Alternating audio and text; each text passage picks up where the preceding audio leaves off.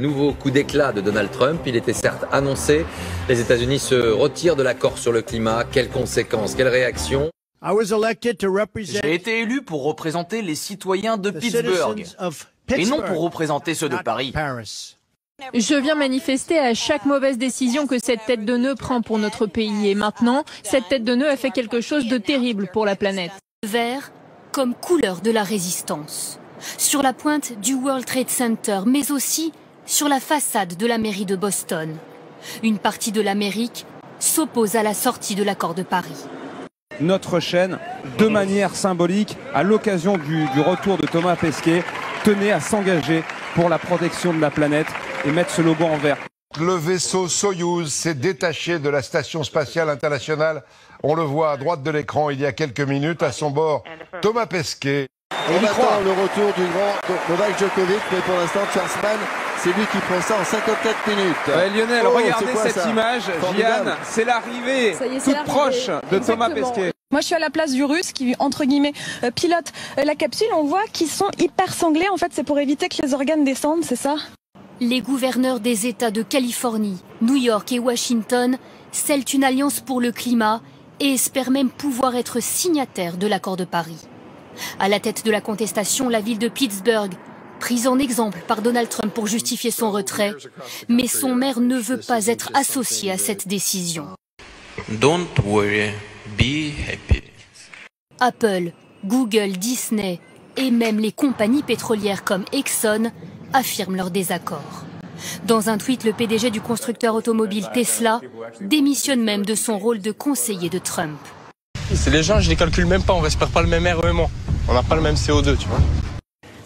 Cette décision ne peut et ne va pas arrêter ceux d'entre nous qui estimons avoir le devoir de protéger la planète.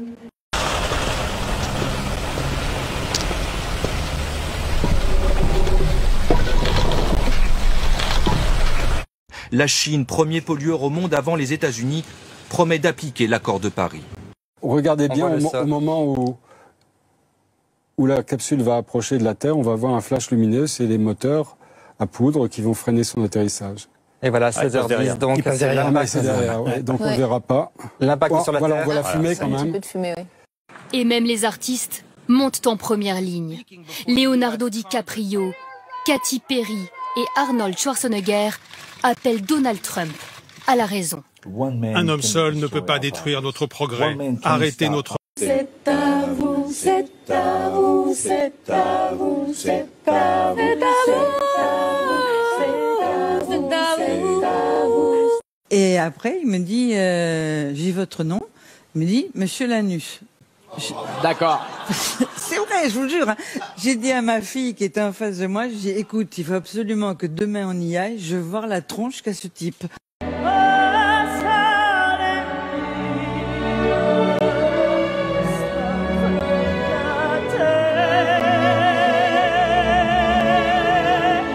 Vous, vous appelez comment?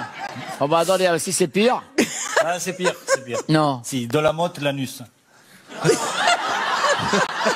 Voilà, la montée. Bon centre, Giroud est seul. De Lucas. Triplé. Voilà le triplé pour Olivier Giroud. C'est une barque comme celle-ci, transportant 38 personnes, qui a chaviré au large de cette plage. Embarqués sur un Kwasa Kwasa, une barque traditionnelle pilotée par trois passeurs, ils étaient 43 Comoriens. Comment vous vous sentez? Eh ben écoutez, ça va très bien. Je, je me réhabitue doucement à la gravité. Il y a des tapouilles et des quoi ça, quoi ça. Ah non, c'est un maillot, c'est quoi ça, quoi ça Si tu veux pas les dents, c'est un connaisseur. Mais le quoi ça, quoi ça pêche peu. Il pêche peu. amène du comoréen. c'est différent. Les États-Unis vont arrêter de payer les 2 milliards et demi d'euros de contributions prévues par l'accord de Paris. De l'argent censé aider les pays pauvres les plus exposés au dérèglement climatique. Et ce coût devra désormais être supporté par les autres puissances mondiales. C'est une impressionnante tornade qui s'est formée au-dessus de l'état de Chihuahua au Mexique. Dans cette région, on est en pleine saison des ouragans, et si ce phénomène climatique est ici impressionnant mais n'a pas fait de victimes, il peut aussi se révéler beaucoup plus meurtrier. Là, le choix que l'on a, c'est de se retrouver ensemble pour le meilleur. Et c'est bien le côté magnifique de l'enjeu climatique. Ça oblige à nous voir, comme Thomas Pesquet, comme une toute petite famille humaine paumée dans l'univers.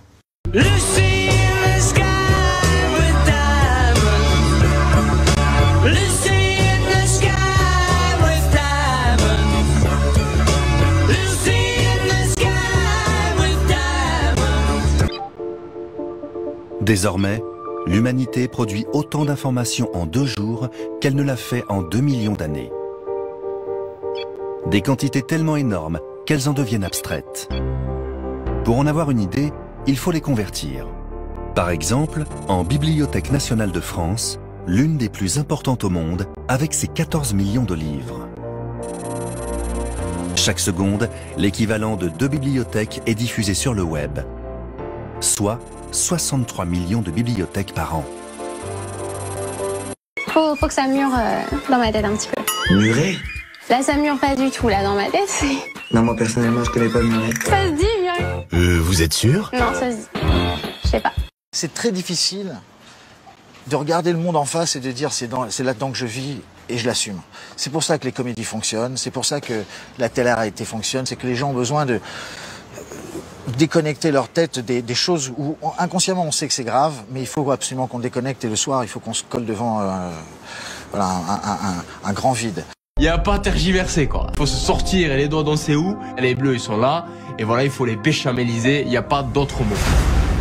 Deux des trois terroristes auteurs de l'attentat qui a fait sept morts samedi soir ont été identifiés. L'un est britannique, l'autre serait marocain ou libyen. Plusieurs milliers de Londoniens se sont recueillis ce soir près du London Bridge en mémoire des victimes. Ils veulent répandre la peur, ils l'ont fait. Mais nous serons plus forts que ça. Deux Français sont portés disparus. Un troisième âgé de 27 ans a été tué. Il était serveur dans un des bars attaqués. En Grande-Bretagne, après l'attentat de samedi, la plateforme VTC est accusée d'avoir profité de la panique pour relever ses tarifs. Voilà, en fait, c'est simplement que l'algorithme d'Uber a fonctionné, puisque vous savez que le logiciel Uber qui fixe les- le prix de la course, eh bien, fonctionne euh, en fonction de la loi de l'offre et de la demande. Nous ne devons plus vivre comme des communautés fermées et séparées, mais comme un royaume réellement uni. La crise au Moyen-Orient, le Qatar accusé de soutenir le terrorisme mis au banc par l'Arabie saoudite et ses alliés. Ils rompent leurs relations diplomatiques et ferment leurs frontières avec l'Émirat. Vous le savez, la vie sur Terre commence dans l'eau et elle se termine dans l'eau, surtout si tu as une piscine sur le chemin. Il y a une très grande rivalité entre Riyad et Téhéran et l'Arabie saoudite crée une montée en puissance de l'Iran suite à l'accord sur le nucléaire iranien qui remet l'Iran dans la communauté internationale et donc ils veulent punir le Qatar qui lui a de bonnes relations avec l'Iran. L'affolement général constaté en marge de la finale de la Ligue des Champions a été causé par la blague de mauvais goût de deux adolescents qui ont voulu se faire passer pour des kamikazes avec des sacs à dos. Rappelons qu'on compte trois blessés graves. Aujourd'hui, Pipo et Mario jouent à pierre, ciseaux, feuille, caillou et ils s'éclatent. La gueule, ils s'éclatent la gueule. Scène de panique samedi soir à Londres, alors que tout le monde fuit, cet homme marche tranquillement une bière à la main. L'image repérée par plusieurs internautes est très populaire en ligne. Elle est le symbole du flegme britannique pour certains, de la résistance face au terrorisme pour d'autres. En solidarité avec les Londoniens, cheers à vous, cheers à vous. Cheers à vous chez vous. Et cheers à vous ici. Et surtout, buvons avec modération, comme les Anglais nous l'ont appris en voyage scolaire. Une nuit de fête et un réveil pour certains, pour le moins difficile. Et dans la vie, il y a trois couleurs le jaune, le bleu, le jaune. C'est vraiment tout le peuple auvergnat aujourd'hui qui est fier de ses joueurs, qui est fier de représenter sa région et qui est fier de montrer à la France entière que finalement, nous ne sommes pas des losers. Les Auvergnats, ce sont des winners. Stade Vavrinka, il n'y a plus de Français dans ce tournoi. Gaël n'a pas pu enflammer euh, ce match. Et le vainqueur du Gérard de la Star Télé dont on peut toujours prononcer le nom tout en pratiquant une fellation, n'est-ce pas Stéphane, est attribué à... Laurie Charles Laurie Choléroy C'est super Demain, dans Allo Docteur, on parlera euh, des. Enfin, vous parlerez avec Marina d'ailleurs. Des algues, leurs bienfaits. Vous serez pas là? Oh, je serai pas loin. Ne inquiétez pas. Je serai dans mon oreille. Avec plaisir, Michel. Grand fou. Ça te dirait que je viens de t'embrasser? Ah non Et expirez, descendez les mains. Douce. Je peux pas lever les mains parce qu'on voit mon petit bourrelet. Ne vous n'avez pas besoin. Inspirez. Regardez, truc horrible. C'est horrible. Je l'ai montré à tout le monde, ça y est. Inspirez. Qui le cache depuis trois mois. C'est raté. Parfait. Je suis toute rouge. Malgré l'arrivée de Jean-Marc Morandini sur CNews, Vincent Bolloré reste inébranlable.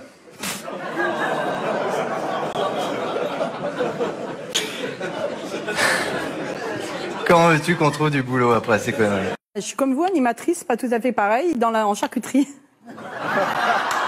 J'anime des boudins, je vends des boudins. Oh, si, si, c'est un peu pareil. C'est un peu pareil. Je suis dans le boudin et dans l'andouille également, Bah ouais. mais bon. euh, Bah, nous, sur C8, nous avons fait le choix de la jeunesse. hein. William Emergy. Bah ouais. Parce que ça, c'est pas jeune, hein. ça, c'est junkie. Tatouage et compagnie, ça va. C'est dur le monde de la télé, mais voilà. Alors Delphine et Ernotte est-elle là? Je ne crois pas, je crois qu'elle est en train de faire les, les cartons de Michel Field. Moi, j'a- j'adore David Pujadas et je l'aime tellement que je pense qu'il méritait méritait mieux, hein. un petit peu mieux. Bonne Euh, nouvelle. vous dire. Je pense qu'il méritait un peu mieux. Je pense que c'est un peu le Patrick Poivre d'Arvor de, de France 2 et euh, il, aurait dû, il aurait dû rester. Enfin bon. Les températures du matin, un poil chagrin, de 9 à 14 degrés, pas plus. Si, quand même, jusqu'à 18 sur les côtes du sud, c'est-à-dire vers la Méditerranée, vous l'avez compris. Bref, une super chouette journée qui commence car nous sommes vivants. À la bonne heure. Il est 11h à Londres, quand cette capitale vibrionnante se fige.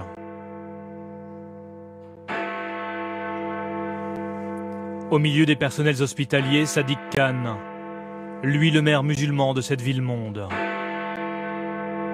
Publications sur Twitter, commentaires sur Facebook, déclarations publiques. Sur les 573 candidats FN aux législatives, ils sont près d'une centaine, assure BuzzFeed, à avoir posté, aimé, partagé des contenus homophobes, antisémites, islamophobes ou racistes ces dernières années. Pourquoi que Rambut n'avait-il pas été arrêté?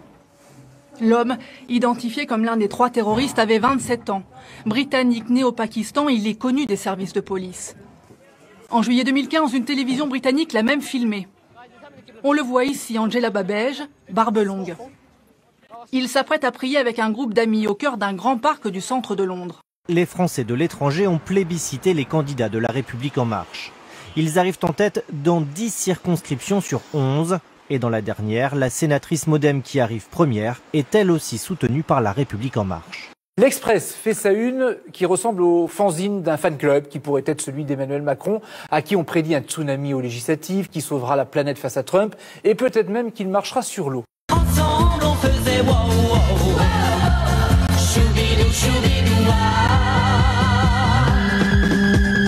Des internautes ont feuilleté le nouveau catalogue en ligne d'un supermarché saoudien. Et voici ce qu'ils ont découvert choqués au rayon piscine. Sur cette photo, un ballon a pris la place d'une femme en maillot de bain présente sur le cliché d'origine. Wonder Woman Mais oui, pouvoir aux femmes, pouvoir girl Si tu power pouvais ne pas passer ce devant plateau. la caméra quand tu quittes le plateau, Ouais, s'il te plaît. ce serait mieux. Ah, alors attendez, oui pourquoi pas? Bah tenez, restez là. Alors perso, je sais pas vous, mais Karine c'était mon idole. Mais oui. Quand on était petite, évidemment. Voilà. Euh, C'était le aussi film- la mienne. hein, Bon, toi, c'était à cause de mini short, alors Ouais, tais-toi. c'est ça. Mais qui a dit qu'il ne fallait pas un peu souffrir pour être belle cet été sur la plage Tu veux que je t'aide? Non, Non, ça ira. Est-ce que, euh, est-ce qu'il ne vous arrive pas souvent de, de vous masturber sous vos draps? Vous y Ouais, connaissez en gros tuyau ouvrier.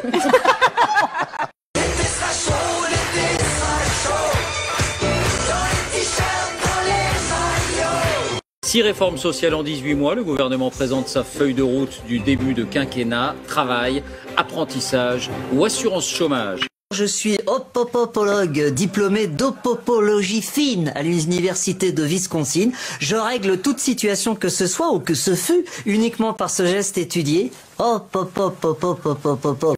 C'est à la fois indispensable et urgent. Le monde bouge autour de nous. Les mutations économiques et technologiques sont massives. Ah ouais, bon bah bisous.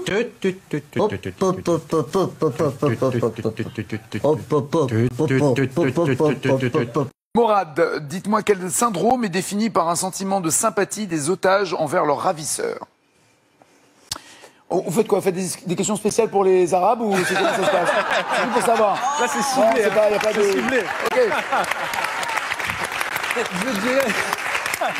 Un policier frappé à coups de marteau par un homme sur le parvis de Notre-Dame.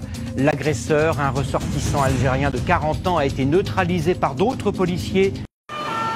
Au pied de Notre-Dame de Paris, c'est une scène de panique. Des enfants, Des familles tentent de fuir. Sur le parvis de la cathédrale, l'attaque vient d'avoir lieu. L'agresseur a crié au moment où il frappait le policier C'est pour la Syrie.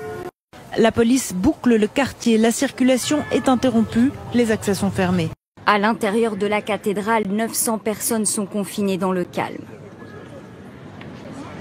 Pendant quelques minutes, les policiers leur demandent de garder les mains en l'air par mesure de sécurité. Je pense que nous ne devons pas changer nos habitudes. La manière de vivre française, on la garde. La manière de vivre britannique, on la garde. Pareil pour les Allemands, parce que si on change, on a perdu. Montgomery décide enfin d'employer les grands moyens.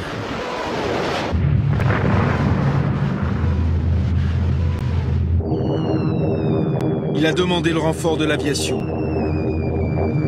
En Syrie, l'assaut est lancé contre Raqqa, capitale du groupe État islamique. Les forces soutenues par les États-Unis sont entrées dans la ville. Pareil bombardement et leurs 2000 morts.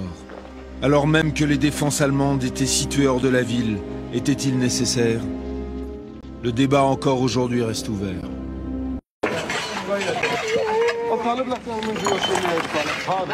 Ne pleure pas, mon garçon, on y est presque. Soulevez, soulevez. Tenez bien, les gars. Allez, allez, on le voit. Sortez-le, sortez-le.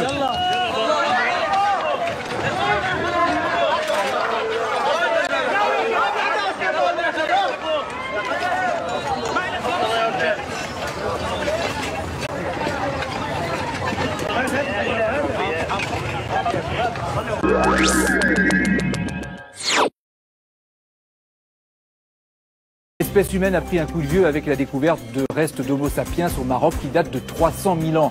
Un bond d'un coup dans l'histoire de 100 000 ans Des centaines de touristes sur le parvis de Notre-Dame de Paris. Et à droite de l'image, trois policiers en patrouille. Il est un peu plus de 16h20 hier, lorsqu'un homme se jette sur eux, armé d'un marteau.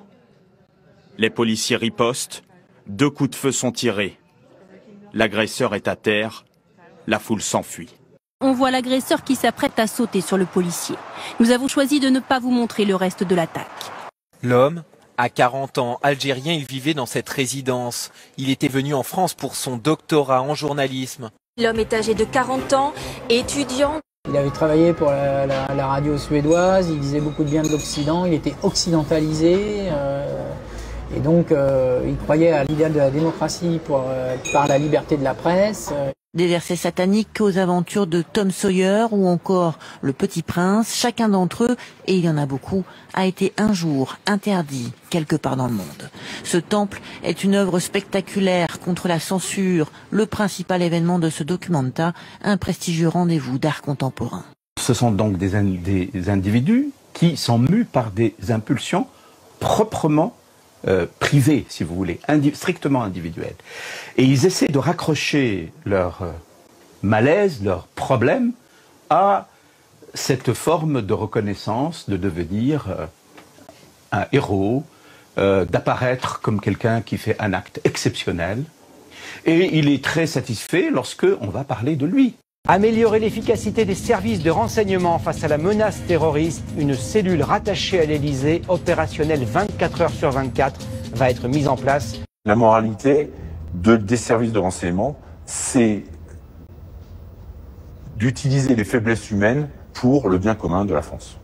Euh, ça m'a posé des cas de conscience, mais j'ai toujours considéré que le but ultime était plus important que mes propres euh, petits cas de conscience. Est-ce que tu vas tenter de les séduire un petit peu avec ton physique de rêve? Je vais essayer de me faire un petit décolleté. Voilà. Et là-dedans, vous avez l'odeur de la mer, de la chatte. D'accord. Là-dedans? Ah, c'est incroyable. Vas-y, Vera, sans, pour voir. c'est bon. Règle D'accord. n'importe quel. N'importe quel conflit, Ouais. ah, bien Conflit sûr. c'est entre chats, voilà. Pour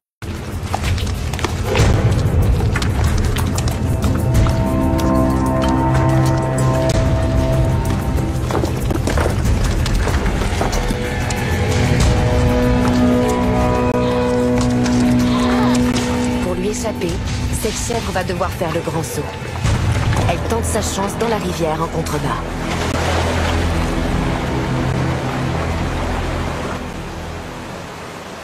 Le terrorisme a frappé aussi en Iran, un double attentat revendiqué par l'organisation État islamique qui a fait 13 morts.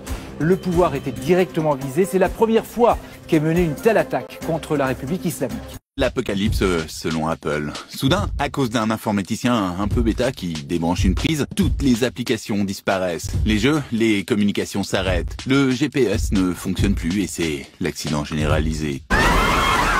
Dans un monde sans appli, cette fille euh, montre aux passants ses selfies imprimés, des vendeurs de CD remplacent iTunes, on joue à Candy Crush avec un marteau, Tinder est devenu un stand de foire, bref, le chaos. Comme si on ne pouvait pas tout simplement prendre un bon livre ou jouer aux petits chevaux. Par exemple, pour vous, par exemple, pas du tout, C'était dans, le Parisien, le gouvernement a démenti. Là, ça marche plus, ça marche plus. Vous parlez de que vous avez Pas du tout. La question c'est stop ou encore? La réalité, c'est que le chômage, il est créé par la crise. Il est créé par la rapacité de ces grands groupes-là.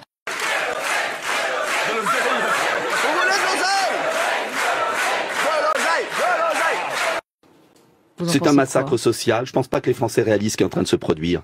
C'est le salarié Kleenex. Visiblement, les risques de bébés secoués ne sont pas un sujet majeur en Géorgie, puisque personne ne semble s'en inquiéter. 780 enfants ont été baptisés, hein, quand même, grosse journée pour le patriarche, et aucun incident n'a été déploré.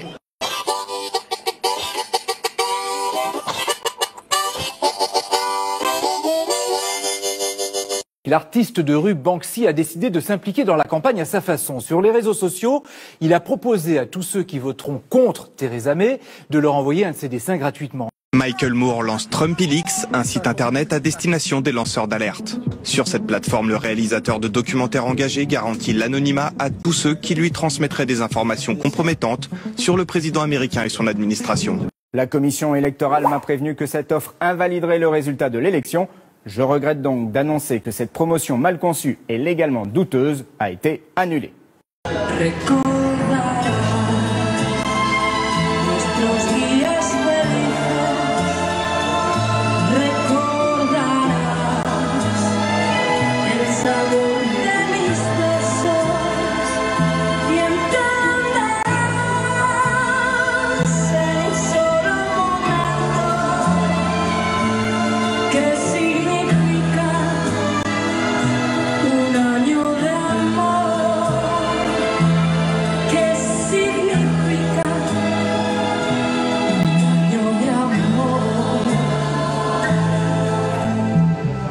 Quand on est dans l'espace, on ressent le, monde dans sa globalité. En fait, on voit que c'est fragile, on voit que l'atmosphère c'est c'est mince, c'est vraiment ça contient toute la vie qu'on connaît partout dans l'univers. Que le reste c'est complètement noir. C'est choses qu'on sait déjà. Je l'ai pas appris ici tout ça évidemment. Je le savais déjà avant, mais ici je l'ai ressenti. Donc euh, c'est vrai, ça devient vraiment du domaine du sentiment. L'homme du jour, c'est James Comey, l'ex-directeur du FBI viré par Trump. Il témoigne aujourd'hui devant le Sénat sur les relations troublantes entre Trump et la Russie. Avant d'être remercié en mai dernier, il a eu neuf rencontres avec Trump, du jamais vu. Presque à chaque fois, Trump lui demande si le FBI enquête sur lui et lui réclame, je cite, de la loyauté, lui laissant entendre qu'il devrait laisser tomber dans tel ou tel cas. La pression est telle que l'ex-directeur du FBI demande à ne plus avoir de contact direct avec le président, qui finalement le limoge. Est-ce qu'il a voulu faire obstruction à la justice? Ce n'est pas à moi de le dire, mais c'était très dérangeant et très inquiétant.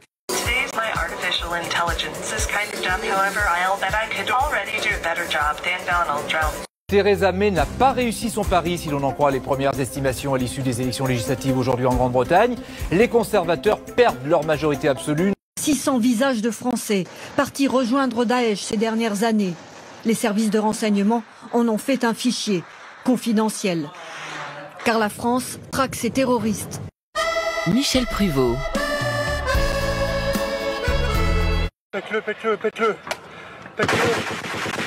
Il faut viser ce véhicule de Daesh. Mission accomplie. C8 dénonce une sanction disproportionnée et discriminatoire après la décision du CSA de priver de publicité l'émission de Cyril Hanouna, touche pas à mon poste pendant trois semaines, manque à gagner d'environ un million d'euros. Moi, on me dit entre 3, entre 3 et 5 millions d'euros, euh, la fourchette, un peu plus même. Voilà, plus près de 5 que, de, Plus près de 5, entre 5 et 6 millions d'euros. Bah, ça met simplement en danger l'émission. Ouais Hop Ça va? C'est ça, le gendarme de l'audiovisuel. D'ailleurs, j'ai un téléphone ici. Regardez. Allô, le CSA euh, J'ai vu Christophe Carrière en slip tout à l'heure. Voilà, dès, dès qu'il y aura une dénonce à faire, c'est ici, d'accord? Bon, avant TPMP, sans déconner, eux, ils ont émergé grâce à l'émission. Non mais personne ne savait qui était le CSA, maintenant c'est devenu des stars, quoi. Ce que veut faire le CSA, c'est éliminer TPMP. Euh, moi, je sais ce que je le prends comme ça, puisqu'ils se disent sans pub, l'émission peut plus exister. Donc, on veut interdire TPMP euh, bonnement et tout simplement.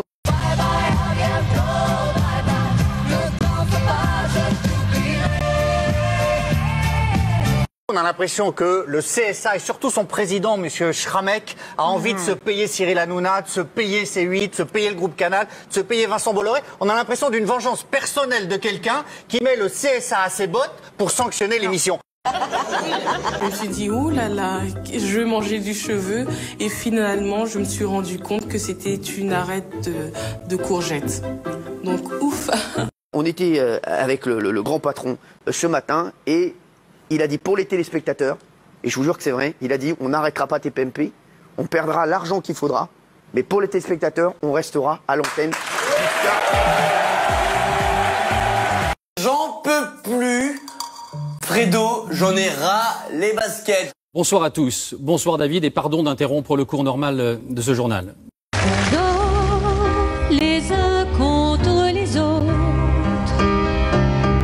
Alors nous voici dans la régie d'où nous avons euh, travaillé à vos côtés. David, partagez votre passion de l'information. Vie les uns avec les autres. C'est le dernier euh, journal que j'aurais eu l'honneur de vous présenter.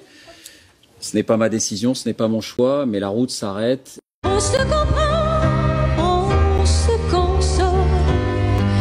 Nous avons fait un choix, le choix d'un journalisme recentré sur l'essentiel, le monde, la politique au sens large, l'économie, les mouvements de la société. Tout le monde est en train de se réunir sur ce plateau, ça non plus, ça n'était pas prévu. Un journalisme de la pédagogie qui donne à réfléchir mais qui ne vous dit pas ce qu'il faut penser. Un journalisme indépendant, ça reste un combat quotidien. Mais au bout du Je souhaite bonne chance et belle route à Anne-Sophie Lapix. on se rend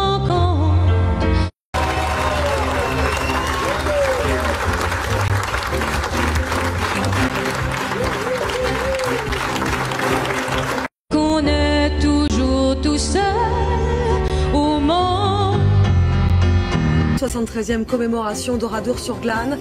Emmanuel Macron a honoré la mémoire de ce village martyr en présence notamment du dernier survivant du drame.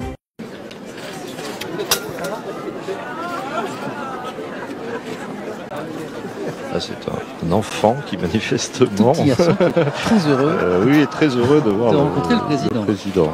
Il lui fait un- même un, énorme câlin pour dire les choses. hein.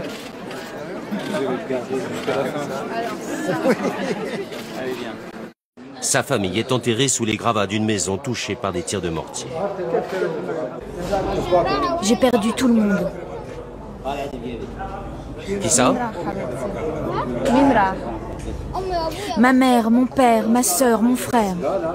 Emmanuel Macron, 39 ans, euh, l'un de ses premiers euh, déplacements sur le territoire français, eh bien, c'est pour euh, évoquer la mémoire. Une semaine après les faits, la police britannique révèle que les terroristes projetaient de louer un camion poids lourd pour faire plus de victimes.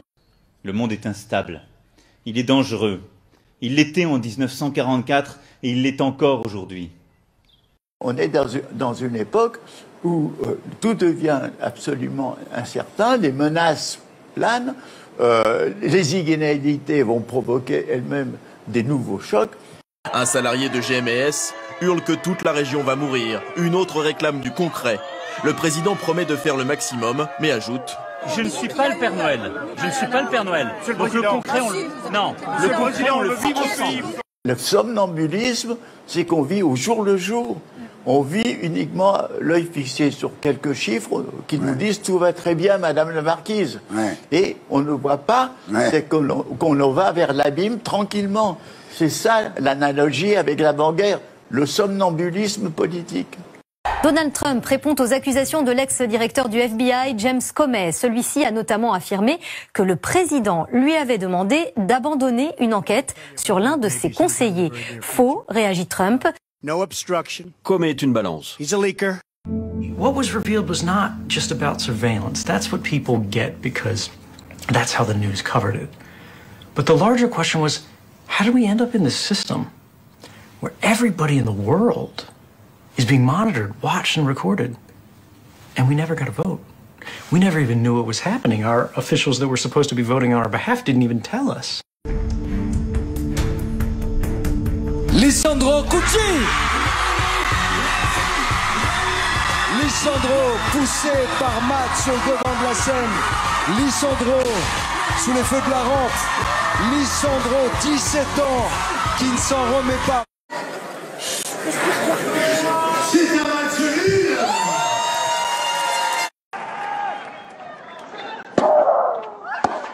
Elle le fait Sur ce revers long de ligne C'est exceptionnel People who say, if you have nothing to hide, you have nothing to fear. What they're saying is, things are good enough. We'll take care of everything. Give up your power. Give up your freedom and let us take care of you. Trust us. But democracy is not about trust. Democracy is about effort. Des bureaux de vote quasiment vides et des électeurs peu enthousiastes. Voilà l'ambiance générale en cette matinée de premier tour des élections législatives. Dans un bureau quasi désert à Hénin-Beaumont, Marine Le Pen s'aperçoit qu'elle a oublié le principal. Son enveloppe dans l'isoloir. Vous nous confirmez que l'abstention atteint des niveaux records.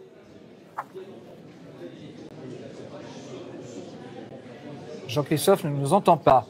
Jean-Christophe Batteria.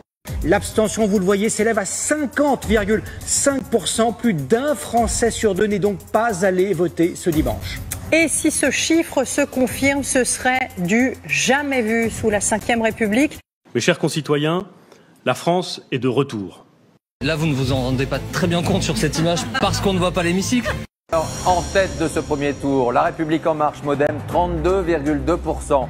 La France Insoumise, 11%. Le PSG, le PS, pardon. Et regardez cette future assemblée avec République en marche et Modem qui obtiendrait donc une fourchette de 400 à 440 sièges. L'électorat euh, qui a voté dans la deuxième circonscription de Paris aujourd'hui, euh, dans le 6e arrondissement, le 5e et une partie du 7e, est à mes yeux à vomir. Est-ce que vous pensez que c'est le symbole de l'élégance française Oui. Quand on voit ce magnifique trophée dans une valise Vuitton et quand on voit ce stade, oui, c'est une, ex une élégance raffinée. Perhaps we become too polite. Perhaps we become too quiet. Perhaps our own comfort is our worst enemy. «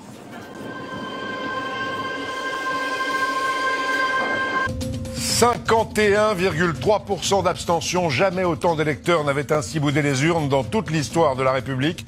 24 500 000 électeurs n'ont pas participé au vote d'hier. Après, ils se plaignent et puis ils font rien. Hein? Alors quand on se plaigne, il faut quand même s'occuper de quelque chose. Après cinq ans au pouvoir, le Parti socialiste est en lambeaux. Ses candidats ont recueilli moins de 10% des voix. Des régions entières ont été perdues et ses principaux leaders ont été éliminés.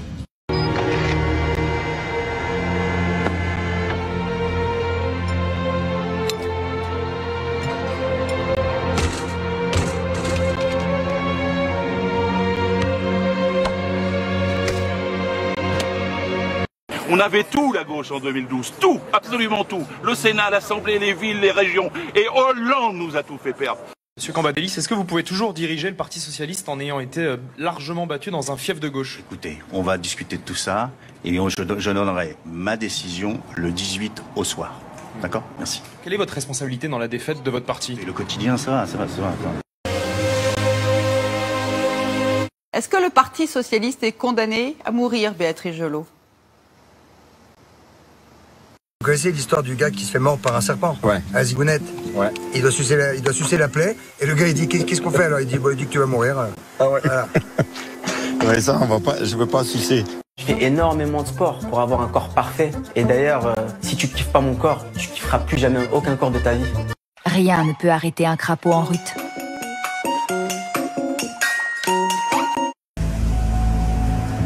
Et là, on voit qu'il est un tout petit peu stressé.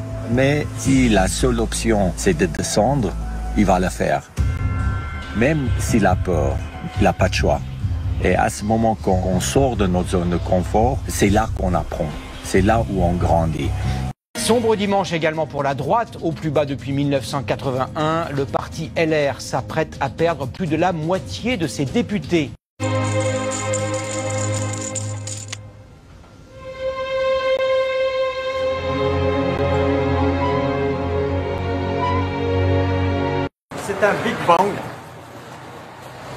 Il y a tout à reconstruire.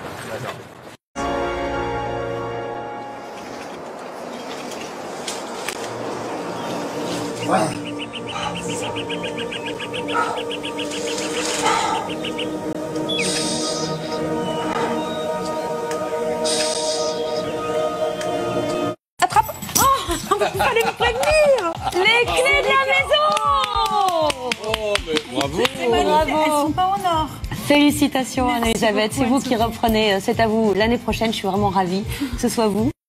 Oui, je dis, mais chapeau. T'as pas lâché. C'est chaud, quoi. Tu les gardes parce que c'est très convoité. Exactement, il faut voilà. Personne n'est loyal. Personne. C'est des stratégies. Le premier qui peut te la mettre dans le petit, il le fera. Le Front National a lui aussi égaré des millions de voix depuis la présidentielle. Seuls quelques candidats, dont Marine Le Pen, pourraient être élus.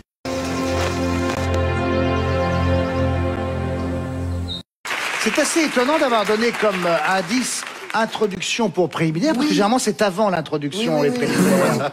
Je ne comprends plus rien. Françoise Laborde, la sœur plus de Catherine, CSA. qui n'est plus au CSA, mais qui a, plus, mis- quand même, qui a eu des fonctions au sein Oui. du CSA, qui dit que finalement, bah, ça n'est pas un troc, c'est une décision du CSA. Et je, je trouve que c'est un peu. euh, Oui, parce que le, le CSA applique la loi et rien que la loi. Mais Le troc ne fait pas partie des dispositions légales. Alors on aime beaucoup Françoise Laborde, mais ça pour moi, euh, c'est une énorme connerie. Non, mais il y a une justice et 140 caractères pour répondre à ça. Je trouve que c'est lâche et ça ne se fait pas. Ce que j'ai le moins supporté dans ma vie, en fait, c'est la célébrité. Tu penses qu'il y a beaucoup de gens qui veulent ta vie? Il y a des gens qui voudraient avoir la vie des vedettes, là, oui, sûrement. Mais it's not pink every day, tu vois. Il me semble que la misère serait moins pénible au soleil. Enfin, la France insoumise se retrouve premier parti de gauche, mais le mouvement de Jean-Luc Mélenchon n'aura sans doute qu'une vingtaine de députés au mieux. Je voulais quand même te dire quelque chose. Euh, J'ai beaucoup souffert du.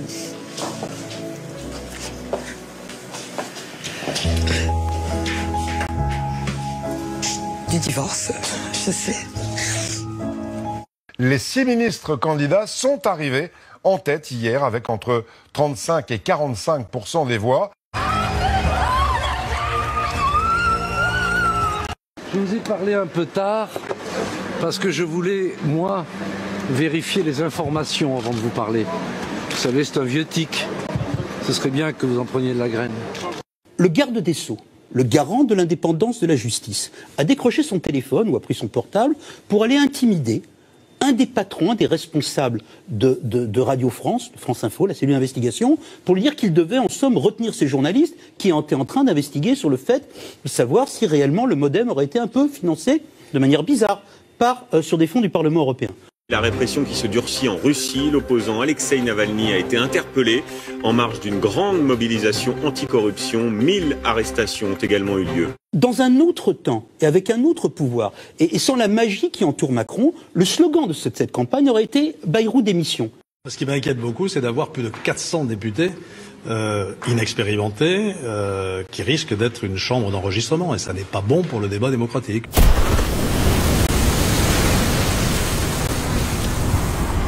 Pendant des millions d'années, la vie s'est répandue sur la planète. Et en un temps très bref, le temps d'une vie humaine, les équilibres de la nature que l'on croyait immuables ont été bouleversés. Tout s'est accéléré. Sur la côte est des États-Unis, la montée des eaux s'accélère. Elle serait déjà deux fois plus rapide qu'ailleurs. Ce n'est pas encore la canicule, mais la France s'apprête à subir une vague de chaleur qui va durer au moins 7 jours. Il n'avait jamais fait aussi chaud un 13 juin dans la région d'Avignon, 37 degrés. Tous ces gens qui sont en bas, là, dans, le fond de la vallée, ces gens qui viennent nous visiter, ils viennent, mais parce qu'on leur a dit que c'était beau, mais ils courent, ils courent, ils sont pressés, ils viennent là, demain il faut qu'ils soient ailleurs, après-demain ailleurs.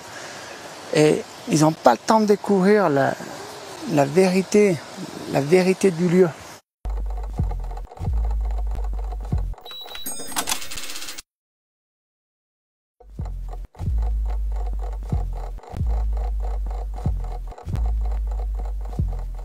La société de consommation. Où va-t-elle les mener? À La course à la à le plus beau, le meilleur, le meilleur rapport à quoi? Peut-on vraiment obtenir de telles musculatures sans prendre de produits dopants Un terrien sur 10 est obèse. C'est la conclusion inquiétante d'une vaste étude publiée hier dans la revue New England Journal of Medicine. On les regarde courir, on les regarde consommer, on les regarde s'amuser. Des fois, on pourrait en être jaloux, mais bon, finalement, moi, arrivé à mon âge, je m'aperçois que c'est nous qui avons la meilleure place.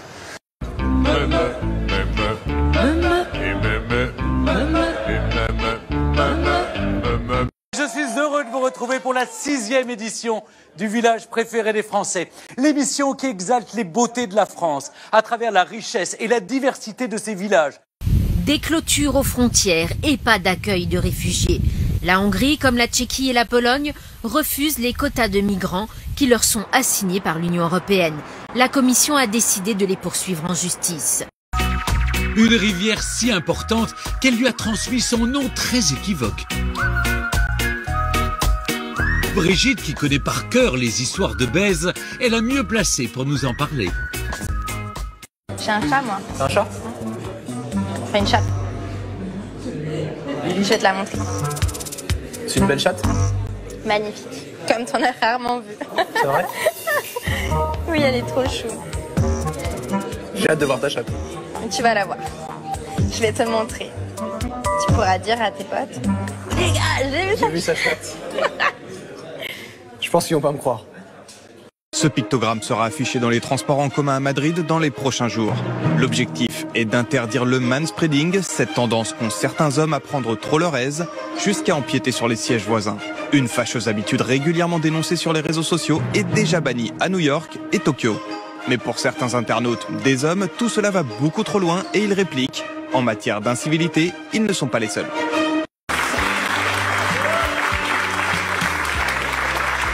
Alors entre deux pages de pub, on va essayer de faire un peu de radio, ça va pas être facile. Vous savez, je vais vous dire, à mon âge maintenant, de plus en plus, si ou je reste à l'antenne et je dis ce que je pense, ou je me casse. Parce que je commence à en avoir ras-le-bol. Eh ben voilà, suspense et rendez-vous après l'été. Cyril Hanouna des matinales. Oh non. non. Ouais, Bon, je non, non, non, non, non, non. Qui retire? Il a dit qu'il retirait.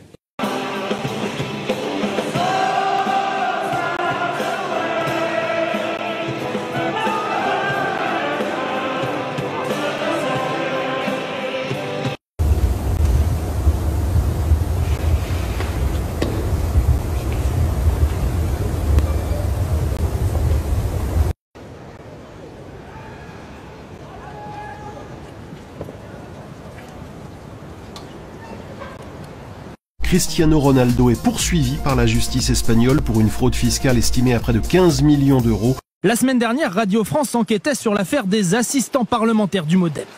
François Bayrou s'emparait alors de son téléphone pour s'en plaindre auprès de la station.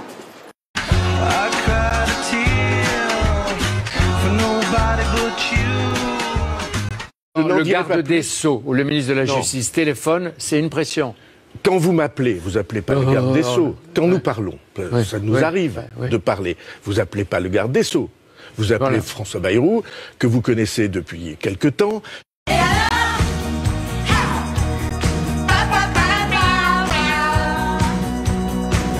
En fait, le truc est assez simple. Quand on est ministre, on ne peut plus réagir euh, comme quand on est un simple citoyen.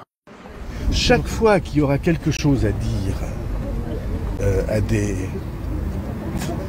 Français, des responsables, qui soient euh, politiques, qui soient euh, journalistiques, qui soient médiatiques, chaque fois qu'il y aura quelque chose à dire, je le dirai. C'est la porte ouverte à toutes les fenêtres, là. je te le dis direct. C'est demain au Conseil des ministres que François Bayrou doit présenter sa loi sur la moralisation de la vie publique. À Paris, l'ancienne ministre socialiste Myriam El Khomri affirme avoir le soutien personnel d'Emmanuel Macron. Son adversaire de droite Pierre-Yves Bournazel est officiellement encouragé par le Premier ministre. Je pense que là, on se fout carrément de notre gueule et que la démocratie dans ces conditions-là, c'est plus de la démocratie. Mais est-ce que quelqu'un peut penser raisonnablement que, élu président, il aura une majorité présidentielle uniquement avec son parti? Moi, je n'y crois pas. Mais non seulement ça n'est pas possible, mais ça n'est pas souhaitable, parce que ce serait un hold-up.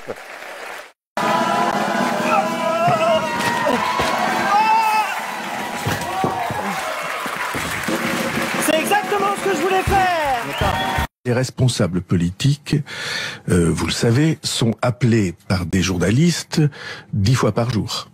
Et pourquoi est-ce qu'il n'y aurait pas parfois, quand ça s'impose, la réciproque? Salut à tous et bienvenue à Question de merde. Euh... Poussez le bouchon un peu loin si vous me permettez parce que là il s'agissait pour vous de recadrer un journaliste qui enquête. Pas du tout. Pas... Il faut savoir ce qu'on veut faire comme métier, de la communication ou du journalisme. Moi, je fais du journalisme. Le canard enchaîné affirme que l'assistante personnelle de François Bayrou au Modem était rémunérée en partie par le Parlement européen sans avoir jamais travaillé pour l'Europe. Entre 2010 et 2014, une enquête préliminaire a d'ailleurs été ouverte en fin de semaine dernière par le parquet de Paris. François Bayrou qui a le téléphone de France Inter mais qui a perdu l'adresse puisqu'il devait venir cette semaine. Il a préféré aller s'expliquer ailleurs. Météo, mais t'es pas là, météo. En quittant l'Élysée, le Premier ministre et son garde des Sceaux s'affichent côte à côte et ostensiblement se serrent la main. complété par les mots euh, du Premier ministre qui euh, met en œuvre cette polémique, cette politique, pardon. Euh,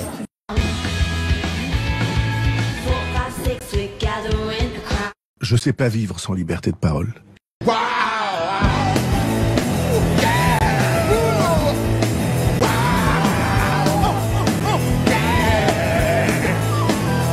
Je ne sais pas vivre avec, comme on disait toujours, expression française, avec un bœuf sur la langue. François Bayrou a l'impression d'avoir fabriqué Emmanuel Macron.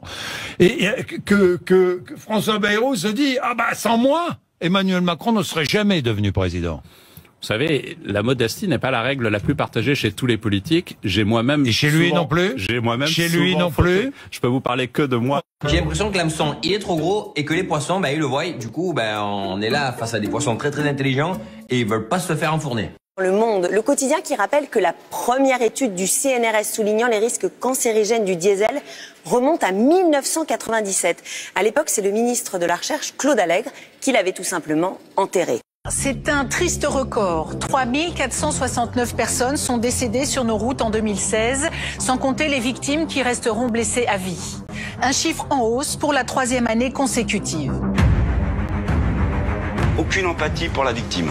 Vous vous rappelez du scandale Volkswagen, hein, où Volkswagen avait trafiqué des moteurs pour augmenter euh, leur, leur euh, seuil de pollution Eh bien, l'Union européenne était au courant du trucage depuis 2013 et l'avait même couvert. Les super bonus de Carlos Ghosn qui font polémique. Pour contourner les actionnaires, Renault-Nissan aurait imaginé un montage de primes cachées via les Pays-Bas.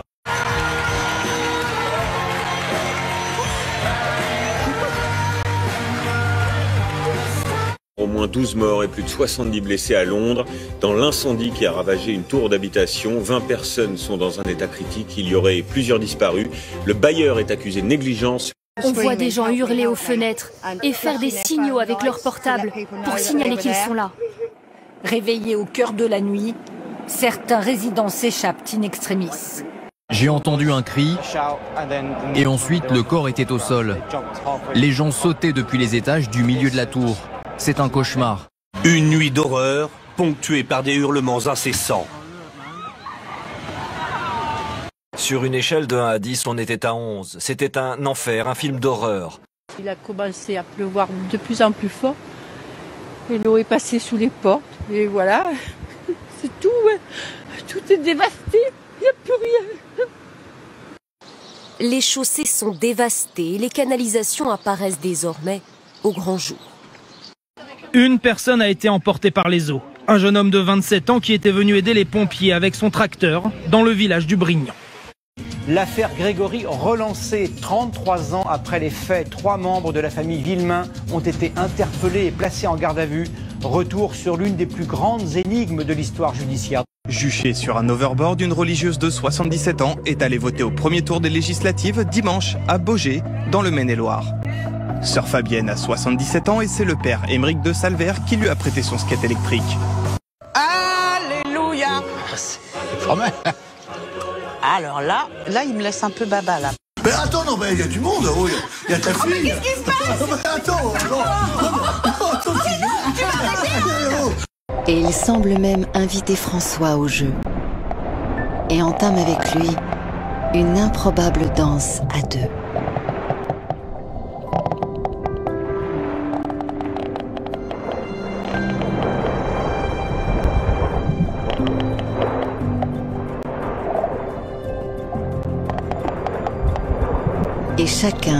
Tour de rôle, initie le mouvement.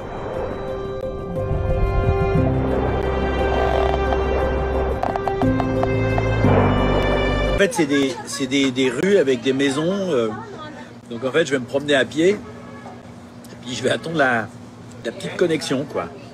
C'est plus intéressant. Oh la vache Nathalie Kosciusko-Morizet, agressée ce matin en plein Paris.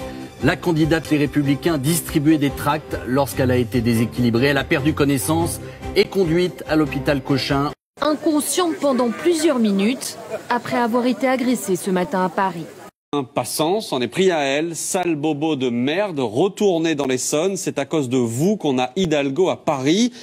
L'homme s'est ensuite engouffré dans une bouche de métro. Oui, Édouard Philippe est venu ici à Cochin ce matin dès qu'il a appris cette agression. Donald Trump et son épouse Melania ont rendu visite hier à l'hôpital à l'un des élus républicains blessés dans la fusillade qui a eu lieu près de Washington. Une fusillade qui a blessé trois autres parlementaires. Le tireur, un militant de gauche hostile au président, a été d'ailleurs abattu par la police. Un bénévole empêché de donner à manger aux migrants par un policier.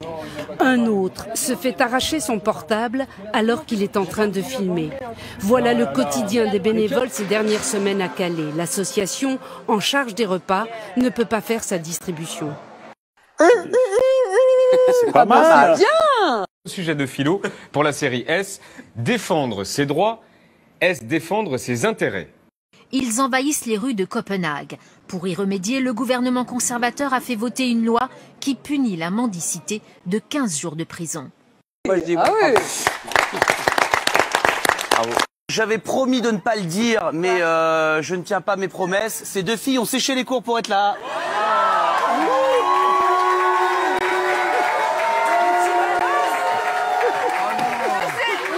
Une manifestation en plein cœur de Rabat, la capitale du Maroc.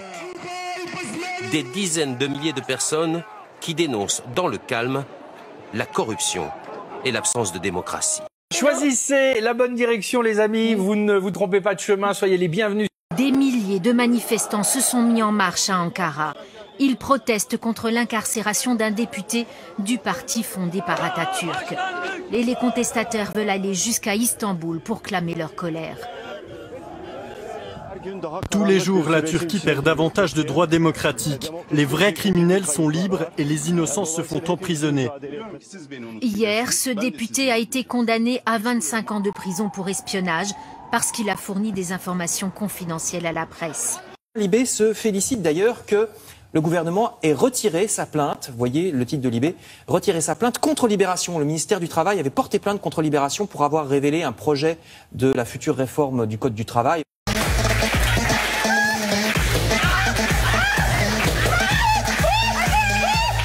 Mais le Nicaragua, c'est un pays pauvre. On a beaucoup de problèmes économiques, mais ça va mieux depuis dix ans. On a un système de santé gratuit pour tous. Pareil pour l'éducation. Ça aide le pays à se développer. Ce qui est intéressant, c'est qu'en termes de bien-être, le Nicaragua se situe parmi les 20 premiers pays dans le classement mondial. C'est étonnant, car c'est un pays pauvre, mais ses habitants sont heureux. Ils vivent tranquillement, ils se contentent de peu. Quand tu as le nécessaire, il est facile d'être heureux. 7 millions d'euros de rémunération pour Carlos Ghosn. Malgré l'opposition de l'État, les actionnaires ont voté pour. Le patron de Renault dément farouchement les allocations de bonus cachés. 2, 3. On inspire. On expire. C'est quoi? Qu'est-ce qu'il y a derrière l'argent? Eh bien, euh, essentiellement, euh, l'argent, c'est dans les sociétés euh, capitalistes, dans les sociétés développées, c'est, je crois, euh, la, la, la, la puissance première, la, la matière euh, le, le, dont qu'on essaye d'obtenir. C'est le but euh, de l'ensemble des comportements. Voilà, c'est- du plaisir, du bonheur, de la joie, euh, c'est de l'émotion, des regrets. Un mélange un peu de tout ça, sauf les regrets. Ola Ostrovski-Zak est de garde lorsqu'une famille de Palestiniens est conduite en salle d'urgence. Un accident de la route vient de coûter la vie au père de famille. La mère est dans le coma. Le bébé Yaman n'a que des blessures superficielles mais il refuse les biberons et commence à se déshydrater. L'oncle du bébé m'a dit, il ne veut pas boire, il faut faire quelque chose. J'ai dit, alors dans ce cas, c'est moi qui vais l'allaiter. L'infirmière, mère de trois enfants, va ainsi le nourrir à plusieurs reprises durant la nuit. Couvé du regard par les tantes du garçonnet. Ils étaient sous le choc, incrédules. Ils n'auraient jamais pensé qu'une Israélienne puisse leur proposer ça. Pour moi, ça n'avait rien d'extraordinaire. Ce n'était qu'un bébé qui avait faim. La vérité est-elle en vue dans l'affaire Grégory? Les enquêteurs affirment que plusieurs personnes ont concouru au meurtre de l'enfant. Quelques jours plus tard, l'infirmière a rendez-vous chez l'une des tantes. Je suis déjà très émue. Oh, tu m'as manqué. Toi aussi, tu m'as manqué. Hey, comment ça va, petit chou? Comment tu te sens? Désormais, l'infirmière est ici considérée comme un membre à part entière de la famille. Avoir la danse Saint-Guy, c'est pas, on t'a jamais dit ça, avoir Ah la danse non, à Saint-Guy? chaque fois, on Ben alors, qu'est-ce qui t'arrive? T'as la danse Saint-Guy? Ah non, on doit dire Saint-Guy. Mais si tu veux Si tu veux. Bonjour. 32 ans après la mort du petit Grégory Villemain, l'affaire va-t-elle enfin connaître son épilogue?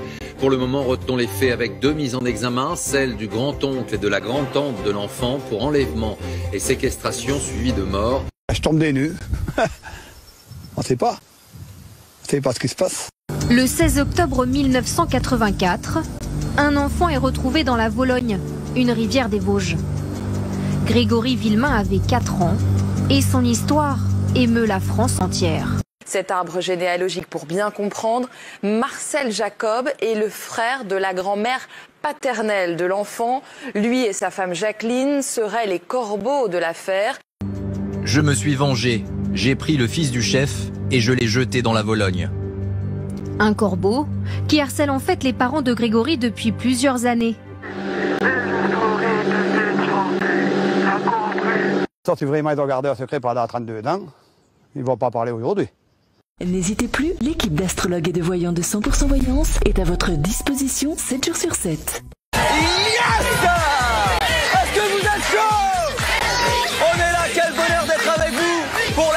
la 300ème du Mad Max. Est-ce que vous êtes chaud?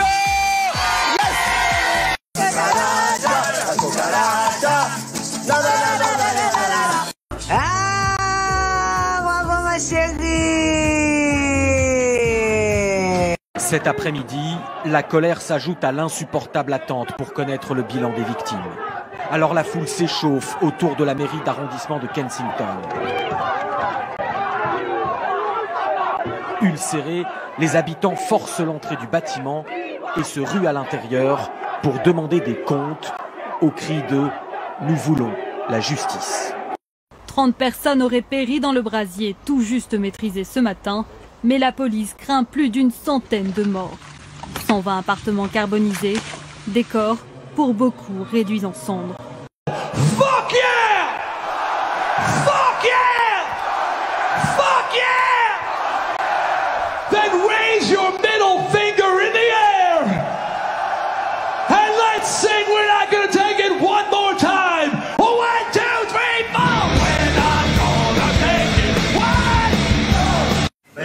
Regardez par là, c'est le drapeau de Daesh.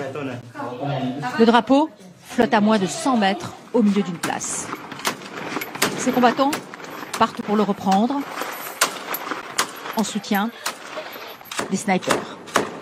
L'homme le plus recherché de la planète a-t-il été tué?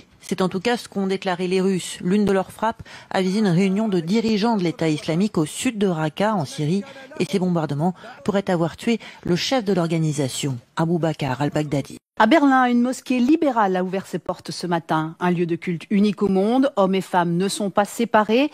L'imam est une femme et elle s'adresse à tous, tous les courants de l'islam. Et puis, toutes les orientations sexuelles y sont les bienvenues. J'ai été euh, extrêmement heurté, comme beaucoup d'ailleurs homo comme hétéro, par la violence des propos tenus. Euh, honnêtement, euh, moi j'ai été bouleversé de, de voir, là je sais plus, ils étaient un million un jour au Champ de Mars, je sais plus où, mais, mais, mais les gens venaient de partout pour nous dire vous là, moi, vous, vous n'êtes pas un citoyen comme les autres, quoi. Mais c'est fou, c'est odieux en fait ce qui s'est passé. Ça a relégitimé une homophobie qui avait vraiment disparu, en tout cas qui était sous-jacente, mais qui était, qui n'avait plus le droit de s'exprimer depuis des années. What Jimmy didn't know was that Ralph was sick, a sickness that was not visible like smallpox, but no less dangerous and contagious, a sickness of the mind. You see, Ralph was a homosexual. a person who demands an intimate relationship with members of their own sex.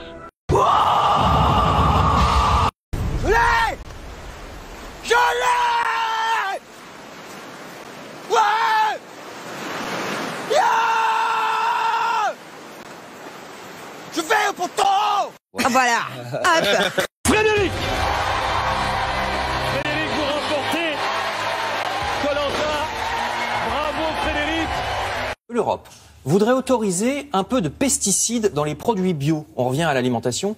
Alors c'est incroyable hein, parce que le bio précisément, c'est l'agriculture sans pesticides. C'est mort. Ça veut dire quoi? Alors là, Monsanto, justement le géant des produits chimiques, payerait des trolls, autrement dit, vous savez, des internautes pirates, pour aller pourrir les sites qui disent du mal de lui. eh, copine en carton, bonsoir, je suis dégoûtée. Aux usés jusqu'à la moelle, déchets ménagers, agricoles et industriels, tout est évacué directement dans la mer, qui lentement étouffe et s'asphyxie. Rien d'étonnant si l'océan a mal à ses eaux, et sa mauvaise santé met en danger à terme la survie de l'humanité.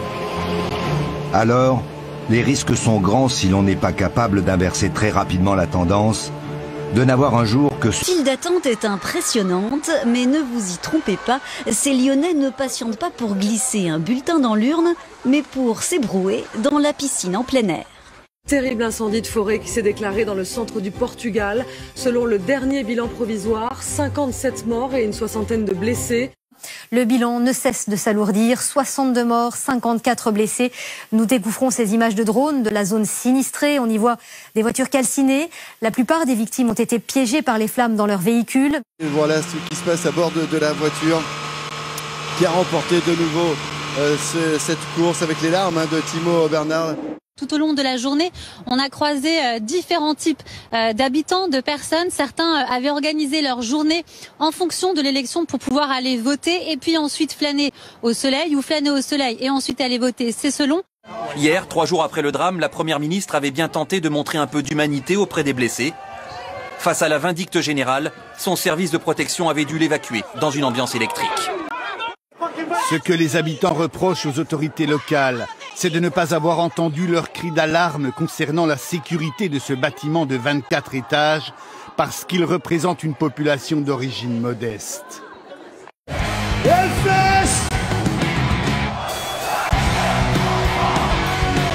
Ivan Famdigno a rencontré la mort dans les cornes de ce troisième taureau de Balthazar Iban, un élevage réputé pour son caractère difficile. L'accident s'est produit alors qu'il faisait une passe avec sa cape. Et c'est Senga, le numéro 5, euh, qui a peut-être causé une grosse surprise, même si le long de la corde, Shutter Speed, l'anglaise, euh, tente de repartir. Senga, associé à Stéphane Pasquier, euh, qui va remporter ce prix de Diane. La deuxième place, peut-être, pour le numéro 15. Pour assurer le deuxième tour des législatives, le maire a été obligé de prendre des mesures. On mettra une tapette à la disposition des assesseurs. C'est plus que nécessaire. Voyez ces images, cette euh, collision la nuit dernière entre un bateau de guerre américain et un navire marchand philippin au sud de la baie de Tokyo. Les gardes-côtes japonais recherchent toujours sept marins américains portés disparus. Trois autres ont été blessés. Il y a peut-être un phénomène de lassitude. Ça mobilise moins parce que les gens savent que voilà, les dés sont, sont jetés. Jamais le second tour d'une élection législative n'avait attiré aussi peu de monde dans les isoloirs. Regardez notre historique. L'abstention était de 32,5 en 93, presque 40% en 2002 et en 2007, 44% en 2012 et donc 57% ce soir. Pourquoi c'est important pour vous de voter? Parce que après, s'il y a quelque chose qui va pas, eh ben, je pourrais au moins râler. Notre peuple est entré dans une forme de grève générale civique dans cette élection. Il est 20h, voici le nouveau visage de l'Assemblée nationale à l'issue de ce second tour. Confirmation de la victoire de la République en marche. Pour l'instant, je n'ai pas trouvé mieux. C'est vraiment la seule chose que, que je connaisse qui soit aussi efficace. Il est 20h, vous découvrez notre projection de la nouvelle Assemblée nationale. C'est donc une victoire incontestable, mais un peu moins large que prévu pour le parti d'Emmanuel Macron.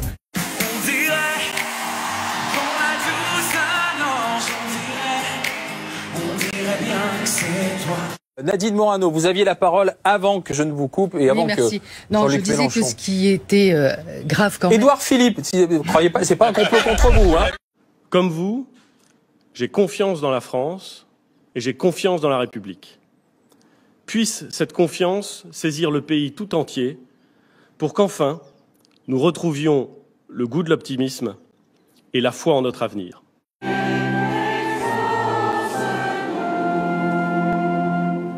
J'adresse mes félicitations les plus républicaines au président Emmanuel Macron, qui est l'artisan principal de cette victoire. Il dispose à présent de l'ensemble des pouvoirs pour mener à bien la mission que les Français lui ont confiée. Sa tâche est immense. Je lui souhaite bonne chance. NKM, figure de la droite battue par un, un inconnu du grand public. Myriam El Khomri est donc battue ce soir. La gauche doit tout changer, la forme comme le fond. Maintenant, c'est démontré euh, qu'une gauche de combat euh, et euh, qui porte des valeurs claires, à savoir le travail contre le capital, euh, les salariés contre les actionnaires, euh, les petits contre les gros, on a démontré que ce discours-là est un discours qui percute chez les gens et qui permet de ramener les classes populaires euh, avec nous, avec la gauche. Est-ce que la victoire nette d'Emmanuel Macron et la République en marche ce soir n'est pas aussi la victoire des idées progressistes et d'une certaine manière l'échec des déclinistes Nous sommes la seule force de résistance à la dilution de la France. Defend Europe, défendre l'Europe, c'est le nom d'un collectif de mouvements d'extrême droite qui s'est mis en tête d'empêcher les ONG d'aider les migrants. Chaque soirée électorale a sa part de tension. Euh, je suis surpris que BFM ait annoncé que j'avais perdu dès 20h. C'est une drôle de conception de la, des médias et de la démocratie. Il va falloir vous habituer à me voir réélu. Là, ce sont des gens qui manifestement contestent le résultat, qui appellent donc à son annulation. La première proposition de loi que je vais faire, ça va être pour obtenir l'indépendance des rédactions. Qu'elles puissent dire non aux financiers. Pour nous, il est difficile en tout cas euh, de constater la victoire de l'ex-premier ministre. Donc nous, on la revendique aussi et on fait un recours euh, très rapidement. On a une assemblée qui est, qui est légale, elle a été légalement élue, mais qui n'est pas légitime. C'est-à-dire que la représentation nationale n'est pas représentative des forces politiques dans le pays ce soir. Alors Emmanuel Macron et les macronistes ne sont absolument pas en cause. Ce qui est en cause, c'est... Je construis des marionnettes avec de la ficelle du papier. Kevin me fait un clin d'œil, me demande bah, de voter contre les rouges. À ce moment-là, je sais pas encore qui je vais voter, je suis perdue, j'ai peur. J'ai peur de regretter mon choix surtout et, et d'être peinée. Donc moi je le regrette et je pense que c'est à la fois un devoir et que si on veut que le débat s'organise au Parlement ou ailleurs, c'est une nécessité. Mexico, Mexico.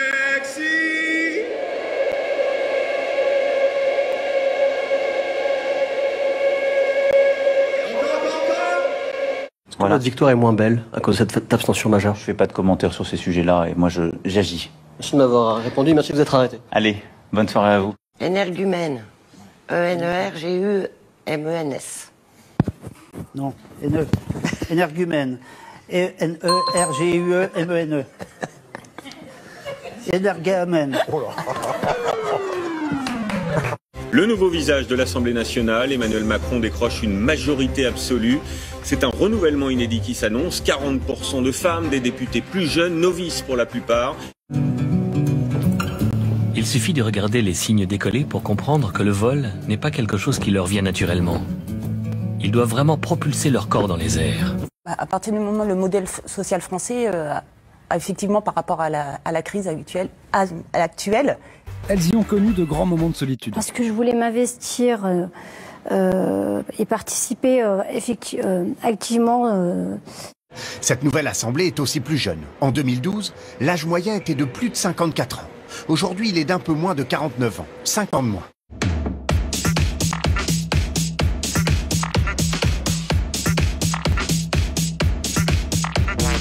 Beaucoup moins de fonctionnaires, 129 cette année, contre 188 en 2012.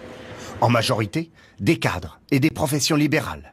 24 médecins, 28 avocats, 41 chefs d'entreprise. En revanche, zéro ouvrier et un seul artisan. Et j'informe le nouveau pouvoir que pas un mètre du terrain du droit social ne lui sera cédé sans lutte. La main tendue à Macron, c'est une main dans la gueule. Nous sommes la première force d'opposition. Mais je la préfère là en blonde, ouais. Oui, tu la préfères Mais elle fait toujours des petits trucs avec sa bouche. Oui, mais j'aime bien les femmes avec les grandes les- bouches. hein. Je vous annonce donc euh, la disparition, même s'il n'a jamais existé, mais il existait dans vos têtes, du plafond de verre. Ce soir, Emmanuel Macron a demandé à Richard Ferrand de quitter le gouvernement pour briguer la présidence du groupe parlementaire de la République en marche. Serre les fesses, mec. Allez, bouge plus. Attention, attention. À noter également la réélection de Jean Lassalle dans les Pyrénées-Atlantiques sans étiquette.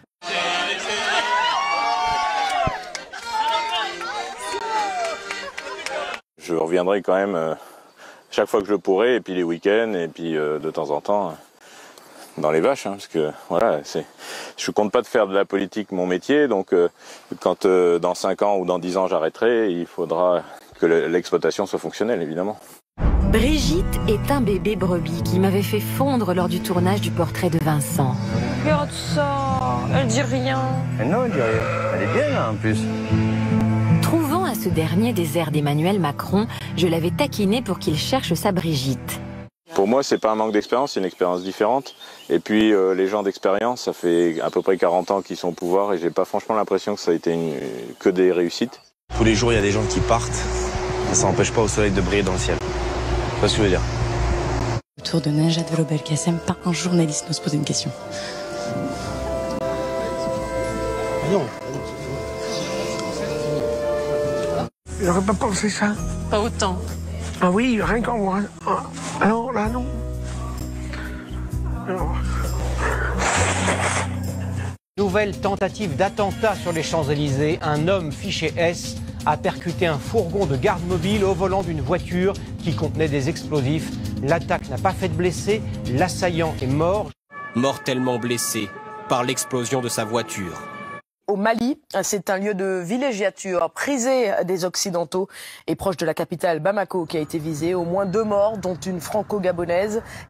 Sur cette vidéo, l'assaillant, un père de famille de 47 ans, maîtrisé par la foule, est arrêté. Il vient de blesser 11 personnes avec un camion. Il a foncé sur des fidèles qui sortaient d'une mosquée dans le nord de Londres. Oh non, là c'est extinction. Hop.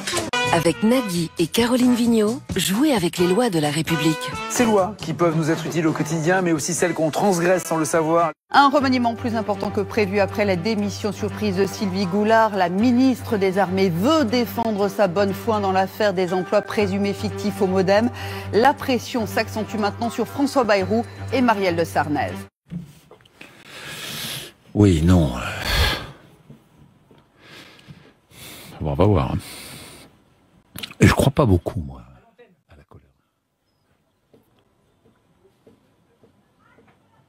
Vous avez envie d'y croire ce coup-ci Justement. À- à quoi? Eh ben, Emmanuel Macron et son gouvernement. Je- je- oui, j'ai envie d'y croire. Parce que c'est la dernière chance. Nous, on n'est pas en marche, mais on veut que ça marche, on veut que ça réussisse pour le pays. Les constructifs, ça fera un bon nom de groupe, non? C'est joli.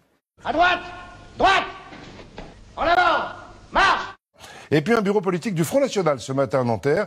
Comme il l'avait promis, Jean-Marie Le Pen a essayé d'y assister, mais on lui a laissé porte close. Dallas, ton hiver impitoyable. Oula. Madame Le Pen euh, ne, ne souhaite avoir autour d'elle que des courtisans. On met pas de jingle. Oui. C'est un coup de gueule. C'est par rapport au départ de Capucine. D'accord. Euh, Capu- on l'a- Capucine, moi, je- Capucine. Capucine. Euh, on l'a appris. On, On va appris- tout vous dire, On l'a Capucine appris. On l'a appris tout à l'heure. Moi, je l'ai appris ce matin. On s'est vu. Ouais.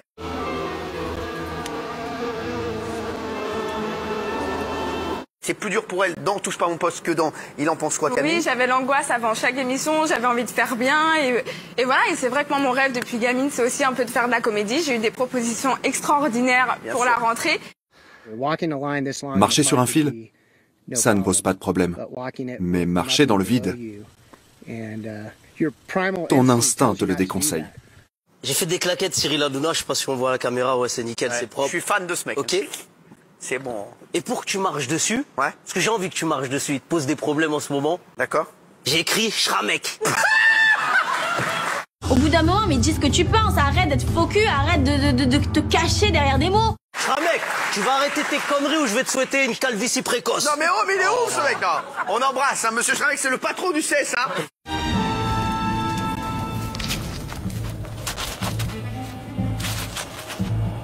les députés de la République en marche trouveront face à eux les nouveaux élus de la France insoumise. Des chercheurs, des intellectuels, je sais pas quoi, j'ai vu le matheux là.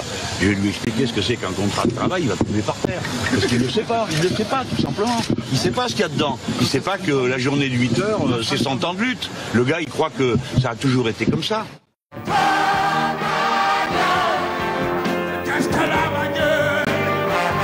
Cher Jean-Luc Mélenchon, est directeur de l'Institut Henri Poincaré, j'en ai vu des contrats de travail, mais c'est toujours un plaisir de recevoir des cours particuliers.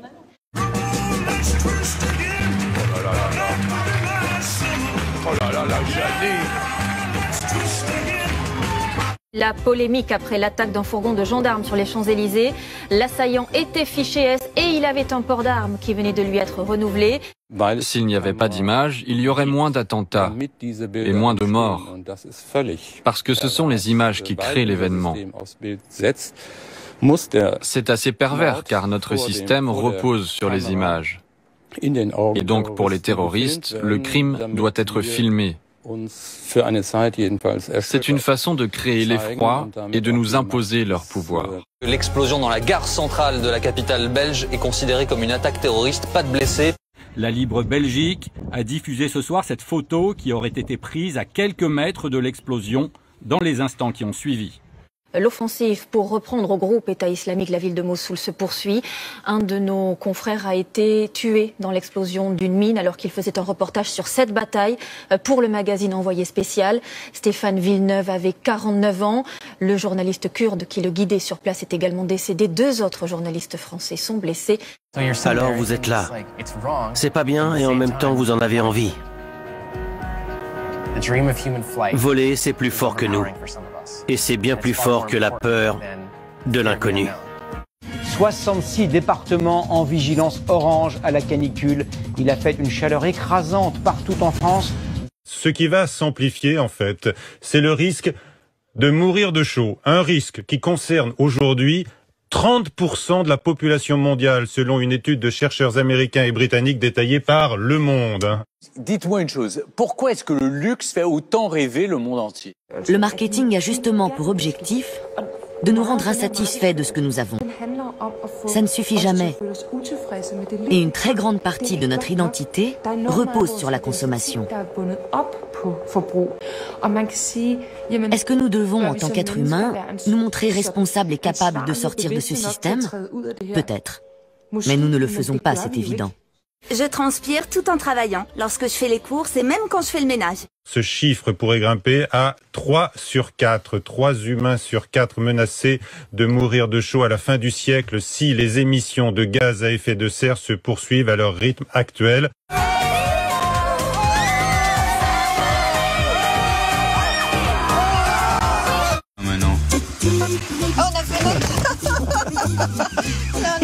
Bonsoir, bienvenue dans C'est à vous. Bonsoir Anne-Elisabeth. Bonsoir Pierre. Bonsoir Patrick. Bonsoir. Et vous l'entendez, c'est Kezia Jones qui est derrière nous. De retour, de retour. 7h52 ce matin, l'AFP informe que le garde des Sceaux rend son tablier. C'est François Bayrou lui-même qui l'a annoncé à l'agence. Vous, aux Républicains, vous aviez un candidat entaché par les affaires. Laurent Vauquier. Je m'attendais à ce que vous me le disiez, c'est Eh normal. oui, Et c'est eh normal oui. que vous posiez cette question. Oui. Et vous ne l'avez pas débranché, entre guillemets. Précisément. Monsieur Bayrou. Monsieur, euh, d'ici, si je vous appelle Monsieur Bayrou, Ah oui, ça non, va pas aller, non, Monsieur ça- Bourdin. Ça n'ira pas, alors. Ah bon, pourquoi ça vous plaît pas euh, Non, Bon. non, non, non. Je vais- Moi, je vais- suis qui je suis à ma place. Sur la photo officielle, quatre visages sont à remplacer. François Bayrou, Marielle de Sarnez, on vient de le dire, et aussi Sylvie Goulard et Richard Ferrand. Ça simplifie la situation parce qu'il était difficile, y compris pour le porte-parole, de répondre à vos questionnements légitimes. Nous n'avons jamais eu d'emploi fictif. Toutes seules et tous ceux qui ont travaillé au Modem avaient contrat de travail et fiche de paix, et cela sera aisé à prouver. J'en ai ras le sombrero, tout ça. Nous ne pouvons pas vivre dans une société de perpétuelle et universelle dénonciation. Euh, les Français ont indiqué beaucoup plus fermement que ce qui prévalait jusqu'alors qu'ils souhaitaient ne pas être embarrassés par le soupçon. La France a été à d'autres époques, hélas, le pays des lettres anonymes. Celui où, paraît-il, on en a le plus écrit de toute l'Europe. Je suis français. Ils veulent que Marielle soit ma fiancée. Peut-être parce qu'ils me trouvent trop français. Laisse-moi juste m'inviter à danser. Je vais l'ambiancer. Et quand Sarnel va monter à la tribune pour. euh, ça va être un grand moment, ça. Finalement, c'est. Dutroux qui défend la moralité. Car la dénonciation fait désormais système avec les réseaux sociaux, avec la presse.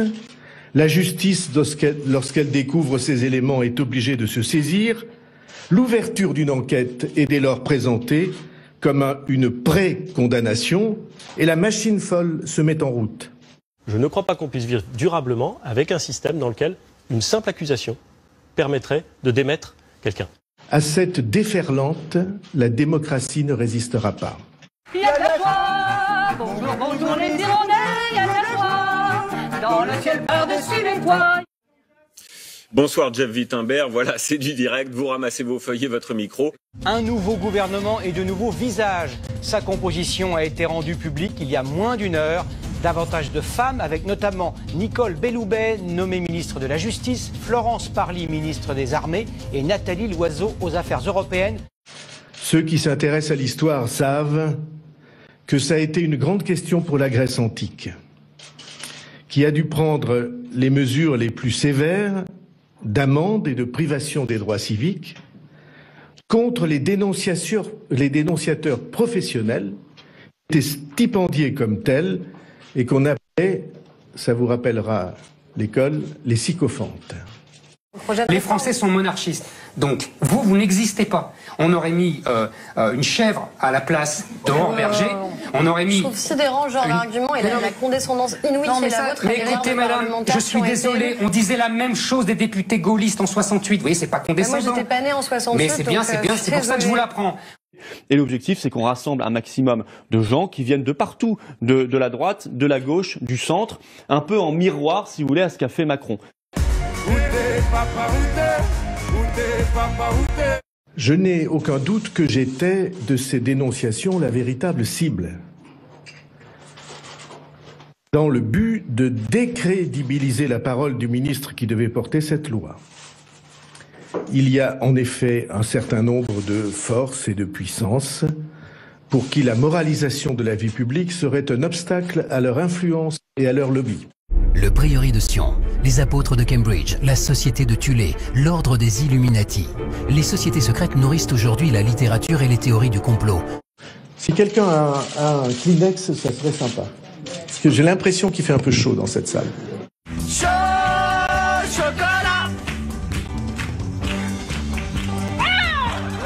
l'INSEE qui est plutôt optimiste pour notre économie euh, à la fin de l'année. Il prévoit une baisse du chômage à 9,4% et une accélération de la croissance à 1,6%. C'est encore la baraka dont on parlait tout à l'heure. Pas de rayon, des arrivages en gros, un minimum de décoration. Le concept des grandes surfaces américaines Costco arrive en France. On peut dire qu'une partie des mesures prises sous le quinquennat Hollande bah, commence à porter leurs fruits. Quelles sont les nouvelles, Monsieur le Président? Ah, des nouvelles de François Hollande. Il n'y a pas énormément, sauf euh, bien sûr euh, quand on dit le samedi, le tournoi de Sixte. C'est moi, vous pouvez laisser votre message. Merci. C'est lui, non, c'est lui. c'est lui. Ah, c'est lui. J'ai une petite oreille. Monsieur le Président, c'était Cyril Hanouna, on est en direct dans Touche pas à mon poste, on voulait vous dire, on a kiffé euh, la pub que vous avez faite pour le tournoi de foot. Et est-ce que vous pouvez m'avoir, euh, est-ce que vous pourriez m'avoir deux places? À, à moins 50%, je suis un petit peu ricrac en ce moment. Plus en plus nombreux sur Terre. De 7,6 milliards d'habitants actuellement, la population mondiale devrait atteindre 9,8 milliards en 2050 selon les estimations de l'ONU. La journée d'hier a été la plus chaude en France depuis 1945 et les températures enregistrées la nuit dernière ont été les plus élevées depuis 1872. On en a tous rêvé. Eh bien, ça y est, ça existe, messieurs. Le slip, le slip réfrigéré. Il y a une poche devant. Ils posent en jupe comme s'ils allaient travailler dans cette tenue et font le buzz. Cette photo fait le tour des réseaux sociaux depuis deux jours. Les conducteurs de bus à Nantes n'en peuvent plus de la chaleur et estiment que leur tenue d'été réglementaire est inadaptée aux fortes températures.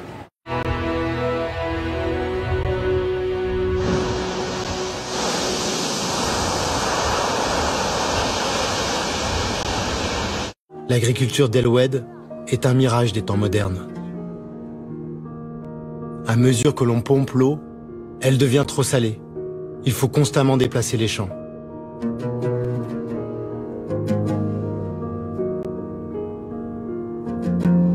La seule chose dont j'ai envie, c'est pas un matelas, c'est pas des clous, c'est pas des marteaux, c'est pas de la lessive.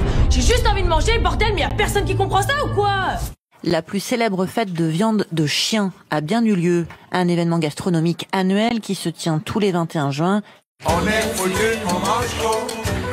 On est foutu, on mange trop. Mais qu'est-ce qu'on fait quand on s'allonge Sur les réseaux sociaux, des milliers de jeunes femmes militent aujourd'hui pour qu'on accepte euh, leur euh, cellulite. Tout a commencé quand cette mannequin, Charlie Howard, a posté cette photo, ses fesses, en disant « J'ai de la cellulite, je n'y peux rien, c'est comme ça, c'est mon corps ». Quand t'as quand t'as 20 balais, tu- il y a des tatouages que tu fais pas, quoi. Comme Comme sur l'anus, vous êtes ici. voilà. Que risque-t-on quand on fait un rimming? Vous connaissez ça? Euh, Rimming, c'est euh, le fait pardon, de lécher l'anus de son euh, partenaire. et laissez toutes les pensées vous traverser comme un nuage. Je pense que Camille et Jean-Luc Lemoine, vous êtes les chéris. Merci d'être avec moi parce que je pense que vous êtes les deux meilleurs euh, animateurs du moment. Non mais je le dis vraiment, Camille et Jean-Luc. Donc merci d'être dans l'équipe. Vraiment, je le pense vraiment. Est-ce que, est-ce que quelqu'un peut m'expliquer l'intervention de la personne? Parce que la personne... Non Non Faites- Oui C'est... Oh là Oh là, chaud Jamais 202. C'est un sport qui demande la participation de compagnons de chasse.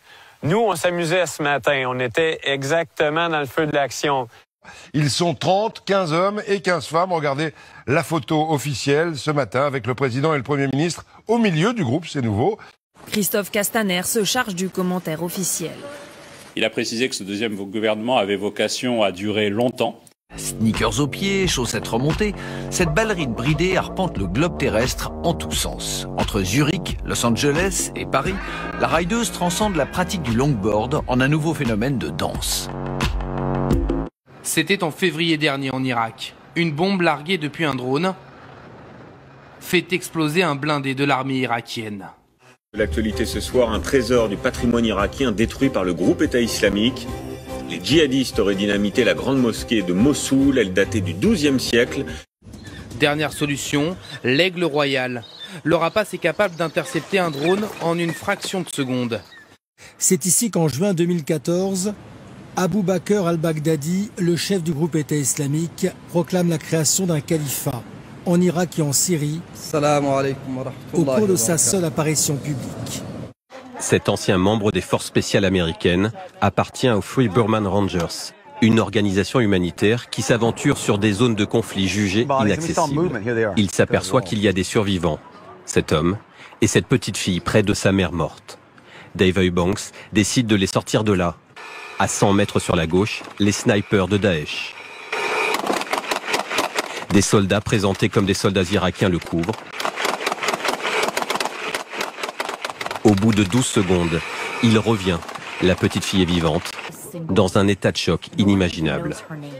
Emmanuel Macron estime avoir été entendu par les dirigeants de l'Union européenne qu'il a rencontrés lors de son premier sommet de Bruxelles aujourd'hui sur la nécessité de faire une Europe qui protège.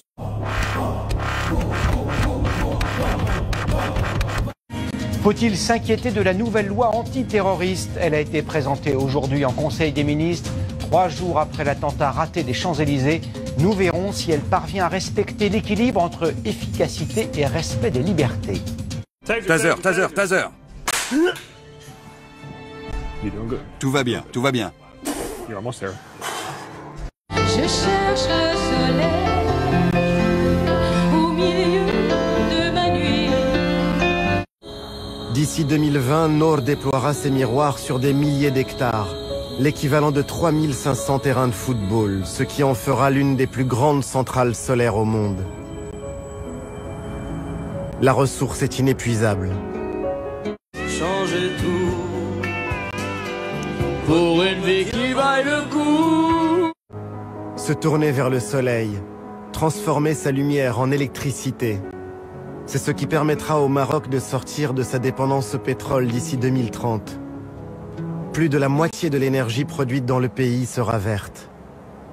Ciao, à bientôt.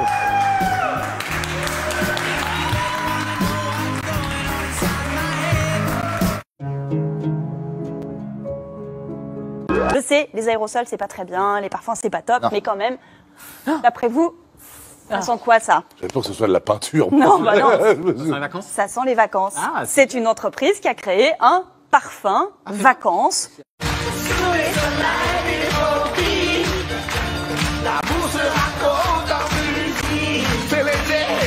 Il va falloir s'y habituer. Si le coup de chaud sur la France se termine, il devrait se produire plus souvent ces prochaines années. En cause, la surchauffe de notre planète.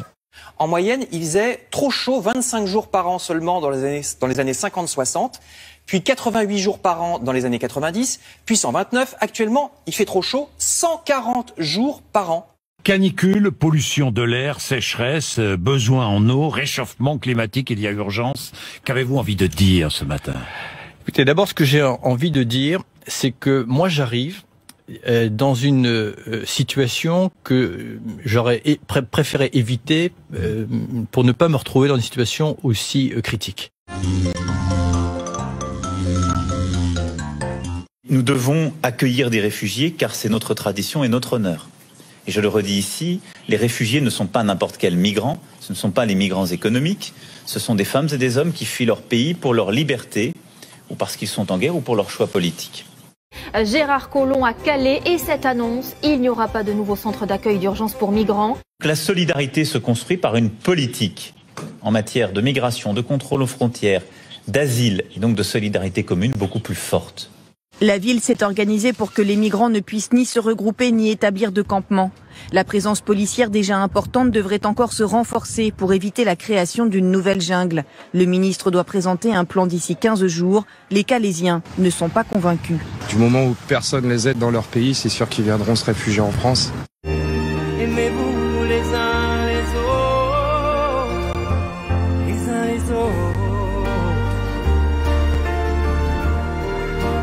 Comment tu définirais la folie La guerre, ce qui arrive à mon pays, une nation prise de folie. Des missiles tous les jours, des explosions au quotidien. Le matin, on se réveille, on part au travail, mais on n'est pas sûr qu'on reviendra. Tu es en sécurité. Ta famille aussi Tes enfants ont la possibilité de réussir. Ils vont fréquenter de bonnes écoles. Tu as la chance de faire partie de cette société, d'y contribuer. Il faut essayer de faire quelque chose. Tu n'as pas à craindre pour ta vie et tu ne fais rien. Ça, c'est de la folie. Emmanuel Macron envoie des SMS à chacun de ses ministres pour s'enquérir de leur programme, assure le Figaro Magazine. C'est la goutte d'eau qui éclabousse, moi j'en peux plus. Il nous met une pression maximale, murmure un ministre surpris de ce harcèlement quotidien, voire nocturne, d'un président pressé d'agir. SMS le plus envoyé ces derniers jours est à feuille de route, Elle en est où? On m'a déjà dit, Frédéric, euh, téléphoner à celui qui est censé être mon assistant parlementaire euh, au siège, demandez-lui euh, de me fournir une revue de presse, euh, au moins une, mais pour que je garde des preuves. Il s'agissait d'emplois fictifs ou de, de temps partiel fictif à l'encontre des, des financements européens, oui. Donc François Bayrou ment? Oui. C'est honteux.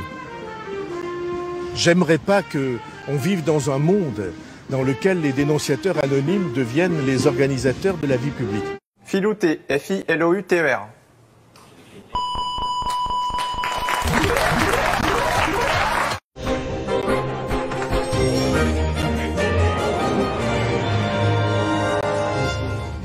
Bonsoir. Les chéris, je vous aime, vous pouvez pas savoir comment, vous ne nous avez jamais lâchés. Ne croyez pas tout ce qu'on dit, et plutôt regardez tout ce qu'on fait pour vous parce qu'on vous aime fort et on vous lâchera jamais. À part si bien sûr on se fait foutre dehors. Je pense que c'est le bol des faux culs. Honnêtement, oui. Faux cul un jour, faux cul toujours. Faux cul toujours. J'aime m'amuser, la folie, le sérieux aussi. 20 euh, ans dans ma tête, ça c'est sûr. Evelyne Thomas cherche l'amour. Envoyez dès maintenant vos candidatures sur chéri25.fr. On est en 1989, David. La première fois que j'ai pénétré une femme? Oui. C'est sublime. J'avais découvert la douceur d'un vagin, tu sais. C'était éblouissant pour moi. Ça s'est fait dans des conditions tragiques. Euh, il y avait un mec qui voulait me filmer derrière. Enfin, mais j'ai quand même la chance de glisser euh, la tube et j'ai dit c'est merveilleux. Personne ne peut dignement aujourd'hui prétendre lutter avec efficacité contre le terrorisme, pour la paix dans le monde, en ne s'attaquant pas à la guerre contre le réchauffement climatique. Combien de temps il reste? Allez Vas-y, t'as le temps de le faire une fois T'as le temps de le faire une fois, c'est celle-là Vas-y, allez poulet Allez, Allez, saute comme un Des milliers d'araignées de mer se sont échouées sur la plage des Rosaires, à Plérin, dans les Côtes d'Armor. Euh, ce n'est pas nouveau. Il y a quelques semaines déjà, un fort coup de vent avait provoqué un important échouage du crustacé. Cette fois-ci, la canicule pourrait être en cause. I'm here with President Macron. We are talking about the environmental issues and the green future. So now we will deliver together to make the planet great again. Récemment, j'ai mené une étude sur des poissons achetés dans des poissonneries de Californie et d'Indonésie. Nous avons constaté la présence de plastique dans 25% du poisson acheté et dans un tiers des huîtres. Mais pourquoi je suis attaché? Ah bah, bah je vais te montrer. D'accord. Si tu as une mauvaise réponse. D'accord. Aïe Mais, mais ça va pas ou quoi, les mecs Tu es dans une machine à apprendre. Ah, mais c'est pas possible. Selon une étude, 7% des Américains pensent que le lait au chocolat est issu des vaches marron. C'est véridique. Le parquet de Toulouse a requis hier un non-lieu concernant la mort de Rémi Fraisse, le militant écologiste tué par une grenade tirée par un gendarme lors de manifestations contre le barrage de Sivens dans le Tarn en 2014. Selon l'avocat du gendarme, il n'y a eu ni crime ni délit et l'emploi de la grenade était la seule et unique réponse possible. Cinq tours de Londres évacués en urgence hier soir pour des raisons de sécurité. Une vingtaine d'autres pourraient suivre. Les autorités prennent ces mesures drastiques par crainte de nouveaux incendies meurtriers. Au moins 127 morts et une centaine de blessés au Pakistan après l'incendie d'un camion citerne. Le drame s'est déroulé après que le véhicule se soit renversé et que des riverains se soient précipités pour récupérer le carburant sur la route. Pour une raison encore inexpliquée, le camion a ensuite pris feu avant d'exploser. Avant-hier encore, il y avait un village ici. Aujourd'hui rayé de la carte. 62 maisons sont sous ces tonnes de débris. Une centaine de personnes restent portées disparues. Si on pouvait encore retrouver des survivants, ce serait formidable. 306 voix pour, deux abstentions. Sans surprise, Richard Ferrand a été élu président du groupe parlementaire La République En Marche. S'il vous plaît, vous pourriez faire une photo Parce que j'arrive à l'Assemblée nationale, mais je vais y arriver en vélo. Et comme je suis tout seul. Vous voulez que je vous prenne en photo? Oui, ça vous en dit pas Je suis Pierre Cabaret, je suis député, ouais. Ça fait bien longtemps qu'on ne s'aime plus. Notre phrase du jour est signée Xavier Bertrand. Dans une longue interview accordée au journal du dimanche, il évoque les divergences majeures, irréconciliables au sein des Républicains, notamment avec Laurent Vauquier. Lutte pour l'égalité des droits, la marche des fiertés réunies, des milliers de personnes à Paris pour ce 40e anniversaire. Un seul mot d'ordre, la procréation médicalement assistée pour toutes.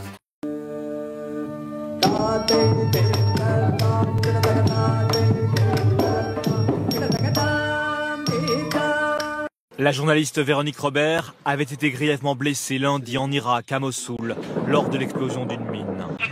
Elle était en reportage pour le magazine de France 2 Envoyé spécial. Accompagnée d'un caméraman, Stéphane Villeneuve, et d'un fixeur traducteur, Bakhtiar Haddad, tous deux également décédés lors de l'explosion. Ça, c'est quand même un moment émouvant. parce que c'est le logo. Ça va faire le tour du monde. Ça, Ça, ça va va faire le tour du monde, ces images.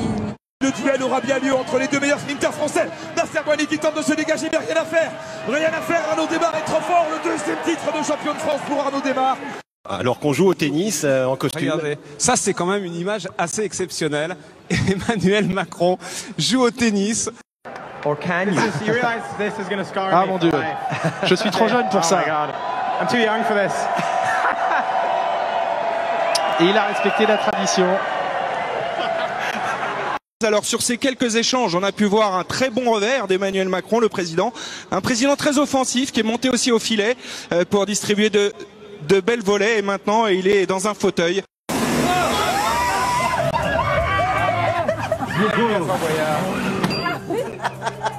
Tout le monde a sorti euh, les smartphones pour évidemment euh, immortaliser cet instant. Euh, et je peux vous dire qu'il se débrouille très bien, le président, y compris dans un fauteuil. Et on sait que c'est très difficile parce que cette exhibition existe à Roland Garros. Beaucoup s'y essaient et beaucoup n'y arrivent pas. Mais on sait que Emmanuel Macron a une passion pour le tennis et il est Ouais. plutôt doué. Le tennis, le foot, c'est- c'est un sportif. Et je peux vous dire que ces images-là, elles feront le tour du monde. Toutes les Françaises auraient aimé remporter le championnat d'Europe.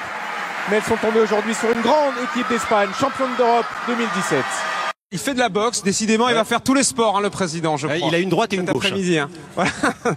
Le couple exécutif est de plus en plus populaire. 64% d'opinion favorable pour Emmanuel Macron, comme pour Édouard Philippe. Qu'est-ce que l'attribution des Jeux Olympiques en 2024 apporterait, bien sûr, à Paris, mais aussi à la France? D'abord, la fierté et l'optimisme. Vous savez, la vie d'un pays, c'est de la psychologie. C'est-à-dire, c'est euh, une envie d'aller de l'avant, d'embrasser l'avenir, d'être à la fois fier d'être français pour de bonnes raisons et européen parce que c'est une candidature européenne Paris 2020. Pour commencer ce journal, cette expression que vous connaissez tous, il faut savoir balayer devant sa porte. Eh bien, c'est ce que demande le maire d'une commune du Gard à ses administrés. Polémique au sein même du gouvernement autour des pesticides. Stéphane Travers, le ministre de l'Agriculture, veut lever l'interdiction des néonicotinoïdes qui entrent en vigueur l'an prochain. Mais vous revenez en arrière par rapport au texte qui a été voté, admettez-le. Mais je peux la, je peux l'admettre. Bon. euh, oui, si Eh vous ben, voulez. Mais si c'est vous clair, c'est franc, c'est direct. Oui, oui, mais moi l'habitude, j'ai l'habitude d'être franc. Tu savais qu'ils vendent des bougies qui sentent le carburant? Ah bon? Ouais, ça coûte 20 dollars. Et j'en ai acheté une que j'allume quand j'ai envie de sentir ça. Tu l'allumes à l'intérieur Ouais, dans la maison. T'es un sniffer d'essence. Ok, ouais, je l'admets. Quand on utilise un néonicotinoïde, euh, la Terre est polluée pendant des, des dizaines d'années. Vous le savez bien? Je l'entends bien. Mais il y a un certain nombre de produits aujourd'hui qui sont utilisés parce qu'ils ne présentent pas non plus de danger particulier pour euh, nos populations. Toutes les et enquêtes pour, euh, montrent et que les sols. néonicotinoïdes sont mauvais Mais à pour partir l'homme. du moment Ma ligne, elle est très simple. Il faut faire aucune concession. On ne reviendra pas sur des acquis. Qui va arbitrer et quand? L'arbitrage, c'est celui du Premier ministre, toujours.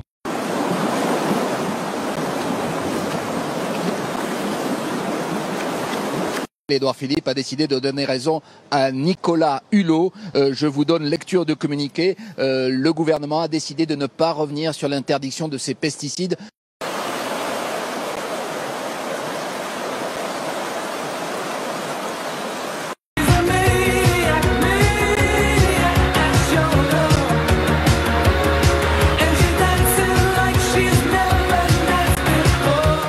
Un bateau de tourisme qui coule sur un lac de Colombie à bord 170 passagers. Des images accélérées que vient de nous envoyer la télé colombienne. De nombreuses embarcations sont venues à leur secours, mais il y a au moins 6 morts et une trentaine de disparus. Les passagers d'un avion d'Air Asia ont connu un voyage secoué après avoir décollé d'Australie. Ça a duré une heure. L'appareil s'est mis à vibrer dans tous les sens. Une pièce d'un des moteurs s'était décrochée. Sous vos yeux va se dérouler une expérience hors du commun. Deux parfaits inconnus prêts à tout pour trouver l'amour vont se rencontrer pour la toute première fois dans une pièce obscure. Salut. Avec juste un lit et un écran. T'as l'air tout stressé. Ben oui, mais c'est pas habituel. Et si les rencontres commençaient par la fin? Oula.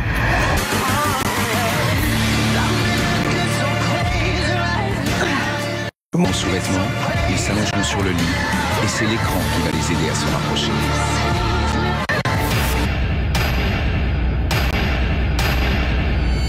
Oh mon dieu. Au bout d'une heure, ils devront choisir. Rester sur le lit et poursuivre leur histoire. Ou quitter l'expérience. Merci en tout cas. merci à à toi. tout à l'heure. À tout à l'heure.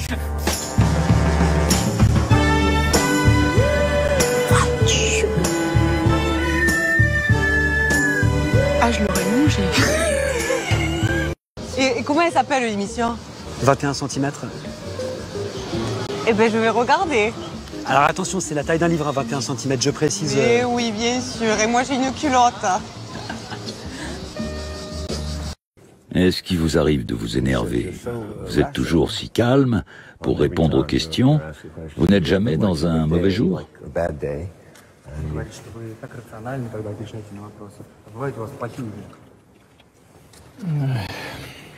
C'est vrai. C'est vrai, non Je ne suis pas une femme, je n'ai pas de mauvais jours. Maintenant voilà. Vous venez d'insulter 50% de la population américaine, ce sera mal pris. Je ne veux insulter personne. La nature est ainsi faite. Cet attentat me paraît extrêmement suspect. On inspire. La première fonction du yoga du son, c'est de figer le mental. Ça veut dire quoi? Ça veut dire de calmer le mental, tout simplement, de cesser la dispersion, de permettre de se recentrer. Partout, cela saute aux yeux, en librairie, pendant les dédicaces, dans les bibliothèques. Le lecteur est presque toujours une lectrice. Il y a une chose simple. hein. Le jour de la fête des mères, c'est un immense samedi pour les libraires de France. En fait, le jour de la fête des pères, c'est rien du tout. Des femmes qui lisent essentiellement des romans. C'est de l'imagination, puis c'est de, l'intimité. Le livre, on est avec son livre et puis pas ailleurs. Jeff adore Disneyland. Tellement que ce Californien vient de fêter son 2 millième jour d'affilée passé dans le parc d'attractions. Vous avez bien entendu, depuis le 1er janvier 2012, il ne s'est pas passé un jour sans que cet ancien militaire se prenne en photo avec ses personnages préférés ou se filme sur un manège.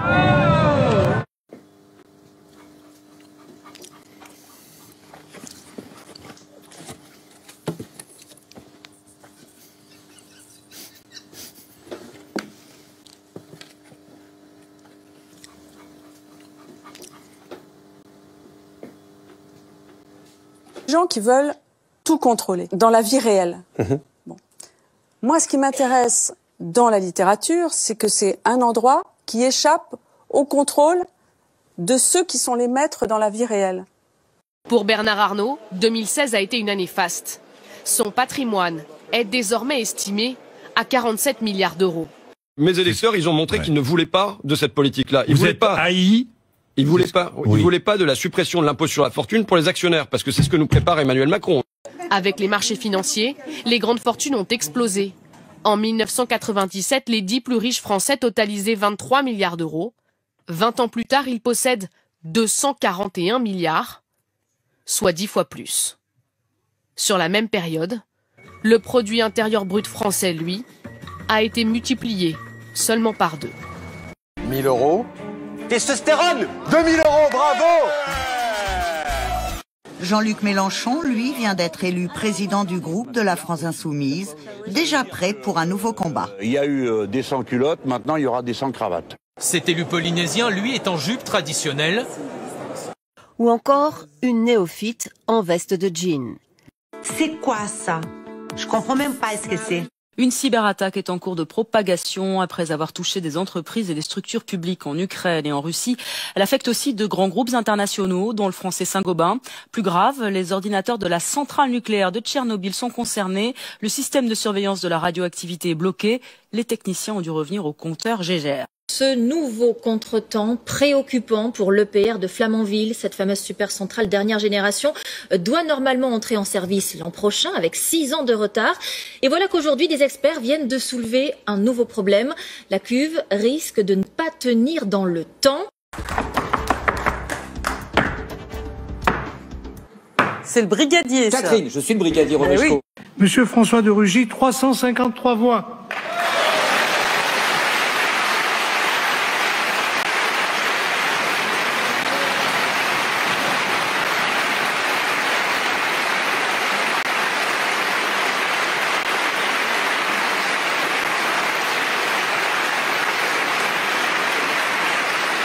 Vous avez dit que ce sera probablement une femme, mais c'est pas une femme, c'est encore un homme. Mais vous voyez, comme quoi, des fois, je peux avoir des espérances à titre personnel et être déçu. Pas déçu? Ça m'arrive souvent dans ma vie privée d'avoir ce genre d'espérance face aux femmes et d'être déçu.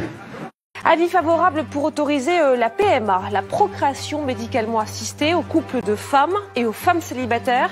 C'est en tout cas l'avis euh, rendu ce matin par le comité consultatif national d'éthique. Emmanuel Macron avait déclaré qu'il attendrait euh, ce rapport pour ouvrir le débat. Cet hémicycle ne doit donc pas être un lieu de provocation et d'anathème, un théâtre d'excès et de caricatures, mais bien au contraire de la sérénité, de la bienveillance, de l'esprit constructif et du respect dans les débats. Depuis dimanche, plus de 8000 migrants ont été secourus au large des côtes libyennes. Des opérations de secours ininterrompues, de familles entières terrorisées dans le chaos le plus total. Notre reportage ce soir nous emmènera en Hongrie où la chasse aux migrants est littéralement lancée. 3000 chasseurs frontaliers, c'est le nom de cette nouvelle unité qui intervient aux frontières, sont en cours de recrutement, ils sont formés au combat. À chaque fois qu'un insecte se pose ou se déplace sur la surface traitée, il est atteint et éliminé sur le champ. Béatrice Huré a été reconnue coupable d'avoir aidé des migrants euh, coupables mais dispensés de peine. L'ancienne militante Front National est tombée en effet amoureuse d'un migrant iranien de la jungle de Calais. C'est par amour qu'elle dit avoir agi, et à en tout cas l'aider à traverser la Manche. Moi aussi, je suis allée très loin dans la formation. Moi aussi, ils m'ont montré l'endroit où je devais me faire exploser. Ils disaient Dieu acceptera ton martyr et tu iras au paradis. Et là-haut, tu retrouveras tes parents et tu auras tout ce que tu veux. Alors Mossoul a donc été reprise à 90% par l'armée irakienne. Il ne reste que cette petite zone autour de la mosquée Al-Nouri. Ils se servent d'enfants d'à peine 4 ou 5 ans pour tuer des gens. Cette génération, c'est la génération de l'après-Daesh. La génération des enfants qui prendra le relais après l'effondrement de Daesh.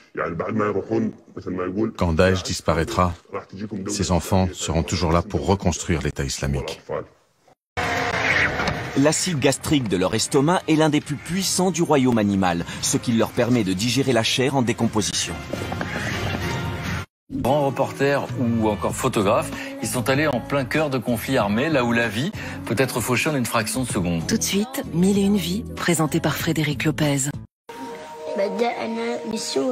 Ça, c'est la Syrie.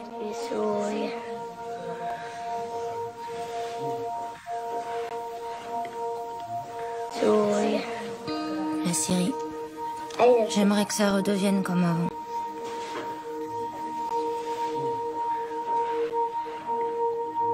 Il y a dans chaque foyer français plus de 6 écrans. 6,4 très précisément, c'est le nombre moyen. Et comme vous êtes sans doute dans la moyenne, eh bien vous devez lire l'enquête du Monde intitulée Écran, la grande déconnexion parents-bébés. Les écrans sont associés à une ribambelle de troubles, troubles du sommeil, troubles de l'attention, de la vision, de l'apprentissage, sans oublier qu'ils induisent un déficit d'activité physique, parce que forcément, quand on est avachi devant son écran, on n'est pas en train de faire des tours de piste au stade du coin. Nous on court pour déchiffrer des lettres. Nous on court pour déchiffrer des lettres. 75% des 6-36 mois manipulent quotidiennement des écrans, c'est-à-dire 3 sur 4. À passer l'âge de 2 ans, ils sont 92% à manier des écrans. Donc quasiment tout le monde. Pour les scientifiques, il ne faut pas chercher plus loin l'explication d'un phénomène que confirment les orthophonistes. Depuis quelques années, euh, les demandes de bilan pour retard, absence de langage, troubles de la relation, de la communication ou de l'oralité ne cessent d'augmenter. Je suis super content parce qu'avec Hélène, on se réconcilie. Euh, au final, voilà, chacun euh, met de l'eau dans son verre. Facebook vient d'atteindre les 2 milliards d'utilisateurs actifs dans le monde, du jamais vu pour un site internet. Près d'un quart de la population mondiale se connecte au moins une fois par mois sur le réseau social. Les bébés les plus exposés à la télé se montrent ensuite moins autonomes, moins mm. persévérants et moins habiles socialement. Trop de télé augmente aussi le risque de devenir le bouc émissaire en classe et c'est d'autant plus problématique que le respect et l'estime de soi sont ancrés dans la petite enfance.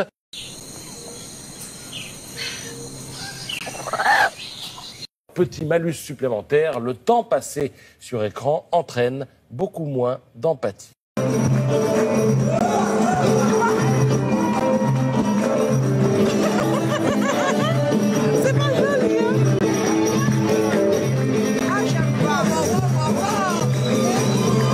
Il est vraiment plus facile de s'occuper des chiens que des enfants. Les enfants, ils sont vraiment casse-pieds. On se détend, putain, tu vois, cool. Là, on communique.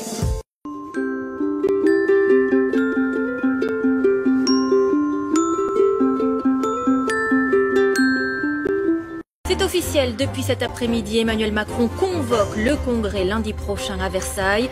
Le chef de l'État s'exprimera devant tous les parlementaires un jour avant le Premier ministre. Une humiliation, disent certains. C'est difficile de donner, c'est difficile de recevoir. Et en même temps, c'est beau de recevoir, mais c'est beau aussi de découvrir qu'on est capable de donner. Je pense que, comme toujours, euh, il y aura deux expressions euh, à la fois parfaitement euh, en ligne et en même temps complémentaires. Les grues du Japon sont aussi un symbole de fidélité, car les couples se forment pour la vie. Le début du Big Bang dans le droit du travail, le projet de loi permettant de modifier les textes par ordonnance a été présenté ce matin en Conseil des ministres. Sur la table donc, plus de référendums au sein des sociétés, la limitation des dommages et intérêts au prud'homme, l'extension du contrat de chantier à mi-chemin entre CDD et CDI et une réforme du licenciement économique. Le gouvernement va devoir encore convaincre. 61% des Français se disent en effet inquiets de cette réforme du Code du travail. Nosotros jamás nos rendiríamos. Y lo que no se pudo con los votos, lo haríamos con las armas. Liberaríamos nuestra patria con las armas. Un général en poste à Bordeaux est mis en cause par le canard enchaîné. Le commandant en second des forces aériennes aurait utilisé un Alpha Jet pour son usage personnel. Il décollait d'une base de la région pour aller passer le week-end dans sa propriété en Provence et en revenir.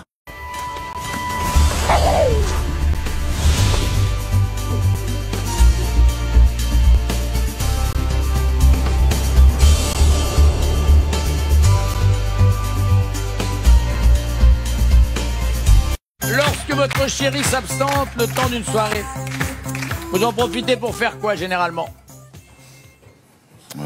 Regarder des films pour adultes. C'est vrai mm. Et un concombre, euh, quand on le frotte comme ça, il doit, il doit presque chanter sous les doigts. Celui-là, il est frais. Voilà.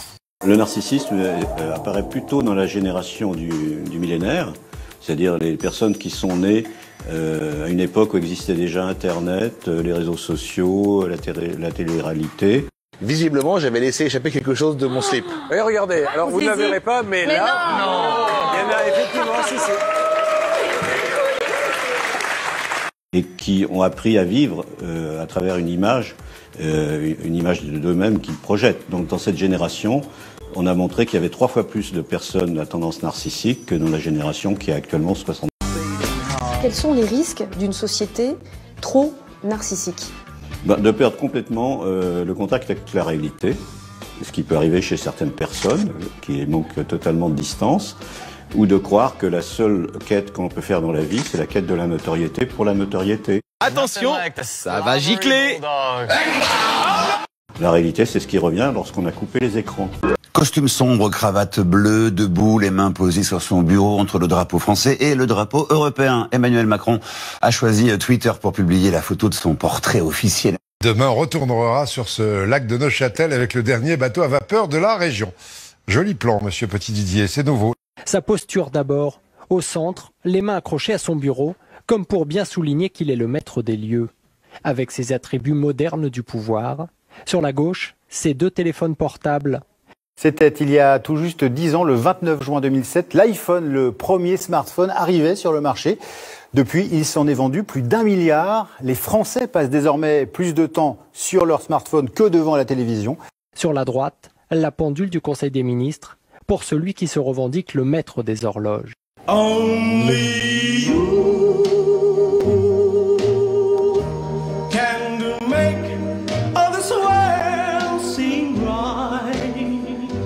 Ces deux volumes de la Pléiade, Stendhal et André Gide, celui d'un président lettré. Le président a lui-même choisi la mise en scène jusqu'à la page des mémoires de guerre du général de Gaulle, posée sur son bureau, ainsi que deux ouvrages. Un portrait jupitérien, selon la définition consacrée par le président lui-même.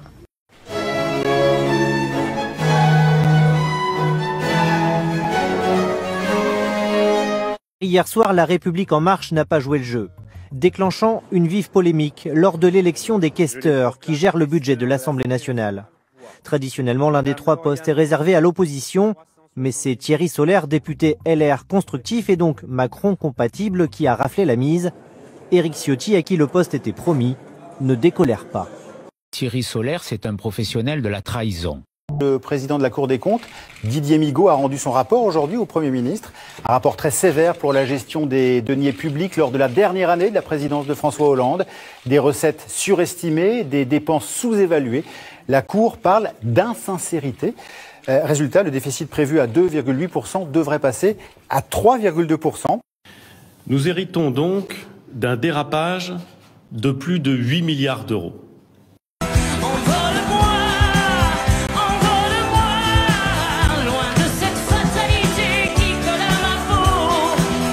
C'est presque trois fois le budget de la culture.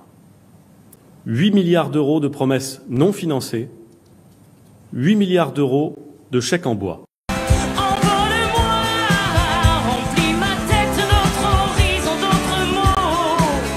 Vous parlez d'un quinquennat dans lequel Emmanuel Macron était ministre. Il était à Bercy dans ce précédent quinquennat. Il est donc co-signataire de ce chèque en bois, pour Ça reprendre les mots d'Edouard Philippe. Ça ne vous aura pas échappé qu'Emmanuel Macron a quitté le gouvernement en septembre 2016, et 2016. que le ministre de l'économie n'a rien à voir avec le ministre du budget. C'est d'ailleurs pour ça que vous invitez le ministre du budget ce soir. Ce que je veux vous dire aujourd'hui, c'est que co-signataire de ce bilan. ce que je veux vous dire, c'est que l'heure est extrêmement grave. On aimerait beaucoup que notre cher président soit un peu plus clair euh, d'un point de vue charge sociale pour les commerçants, RSI. Beaucoup d'incertitudes donc quant au vent nouveau qui souffle sur la politique en France. Une constante en revanche, la météo, au beau fixe aujourd'hui à Menton. Le gel du point d'indice des fonctionnaires. Eh ben, ça pourrait soir- être une option? Tout à fait. Ce soir, je peux vous dire qu'il n'y aura pas d'augmentation du point d'indice euh, pour les agents de la fonction publique. Il reste gelé. Voilà. Selon un sondage, près d'un homme sur cinq ne passe pas l'aspirateur parce qu'il pense que sa femme préfère le faire. Et 46% d'entre eux se sentent responsables du ménage à la maison contre 92% des femmes qui considèrent en avoir la charge. Elles sont majoritaires à penser que leur conjoint ne s'occupe pas assez des tâches domestiques. Le ménage représente une source de tension pour la plupart des Français. La tendance fraîcheur de l'été sur les réseaux sociaux se nomme Watermelon Dress. S'afficher vêtu d'une robe en pastèque. Depuis quelques jours, le jeu de perspective amuse des milliers d'internautes. Une seconde, hein, je termine sur le, le sommaire et je vous fais le ménage. Face à ce pétrin, je ne peux pas me défiler. Je prends mon courage à deux mains et j'y vais.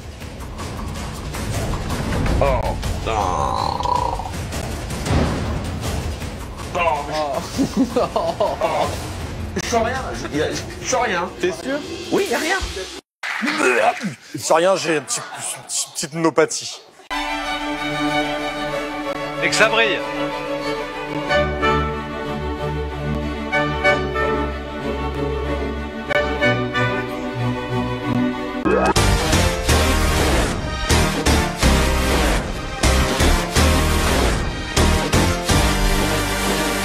His name is Robert Paulson.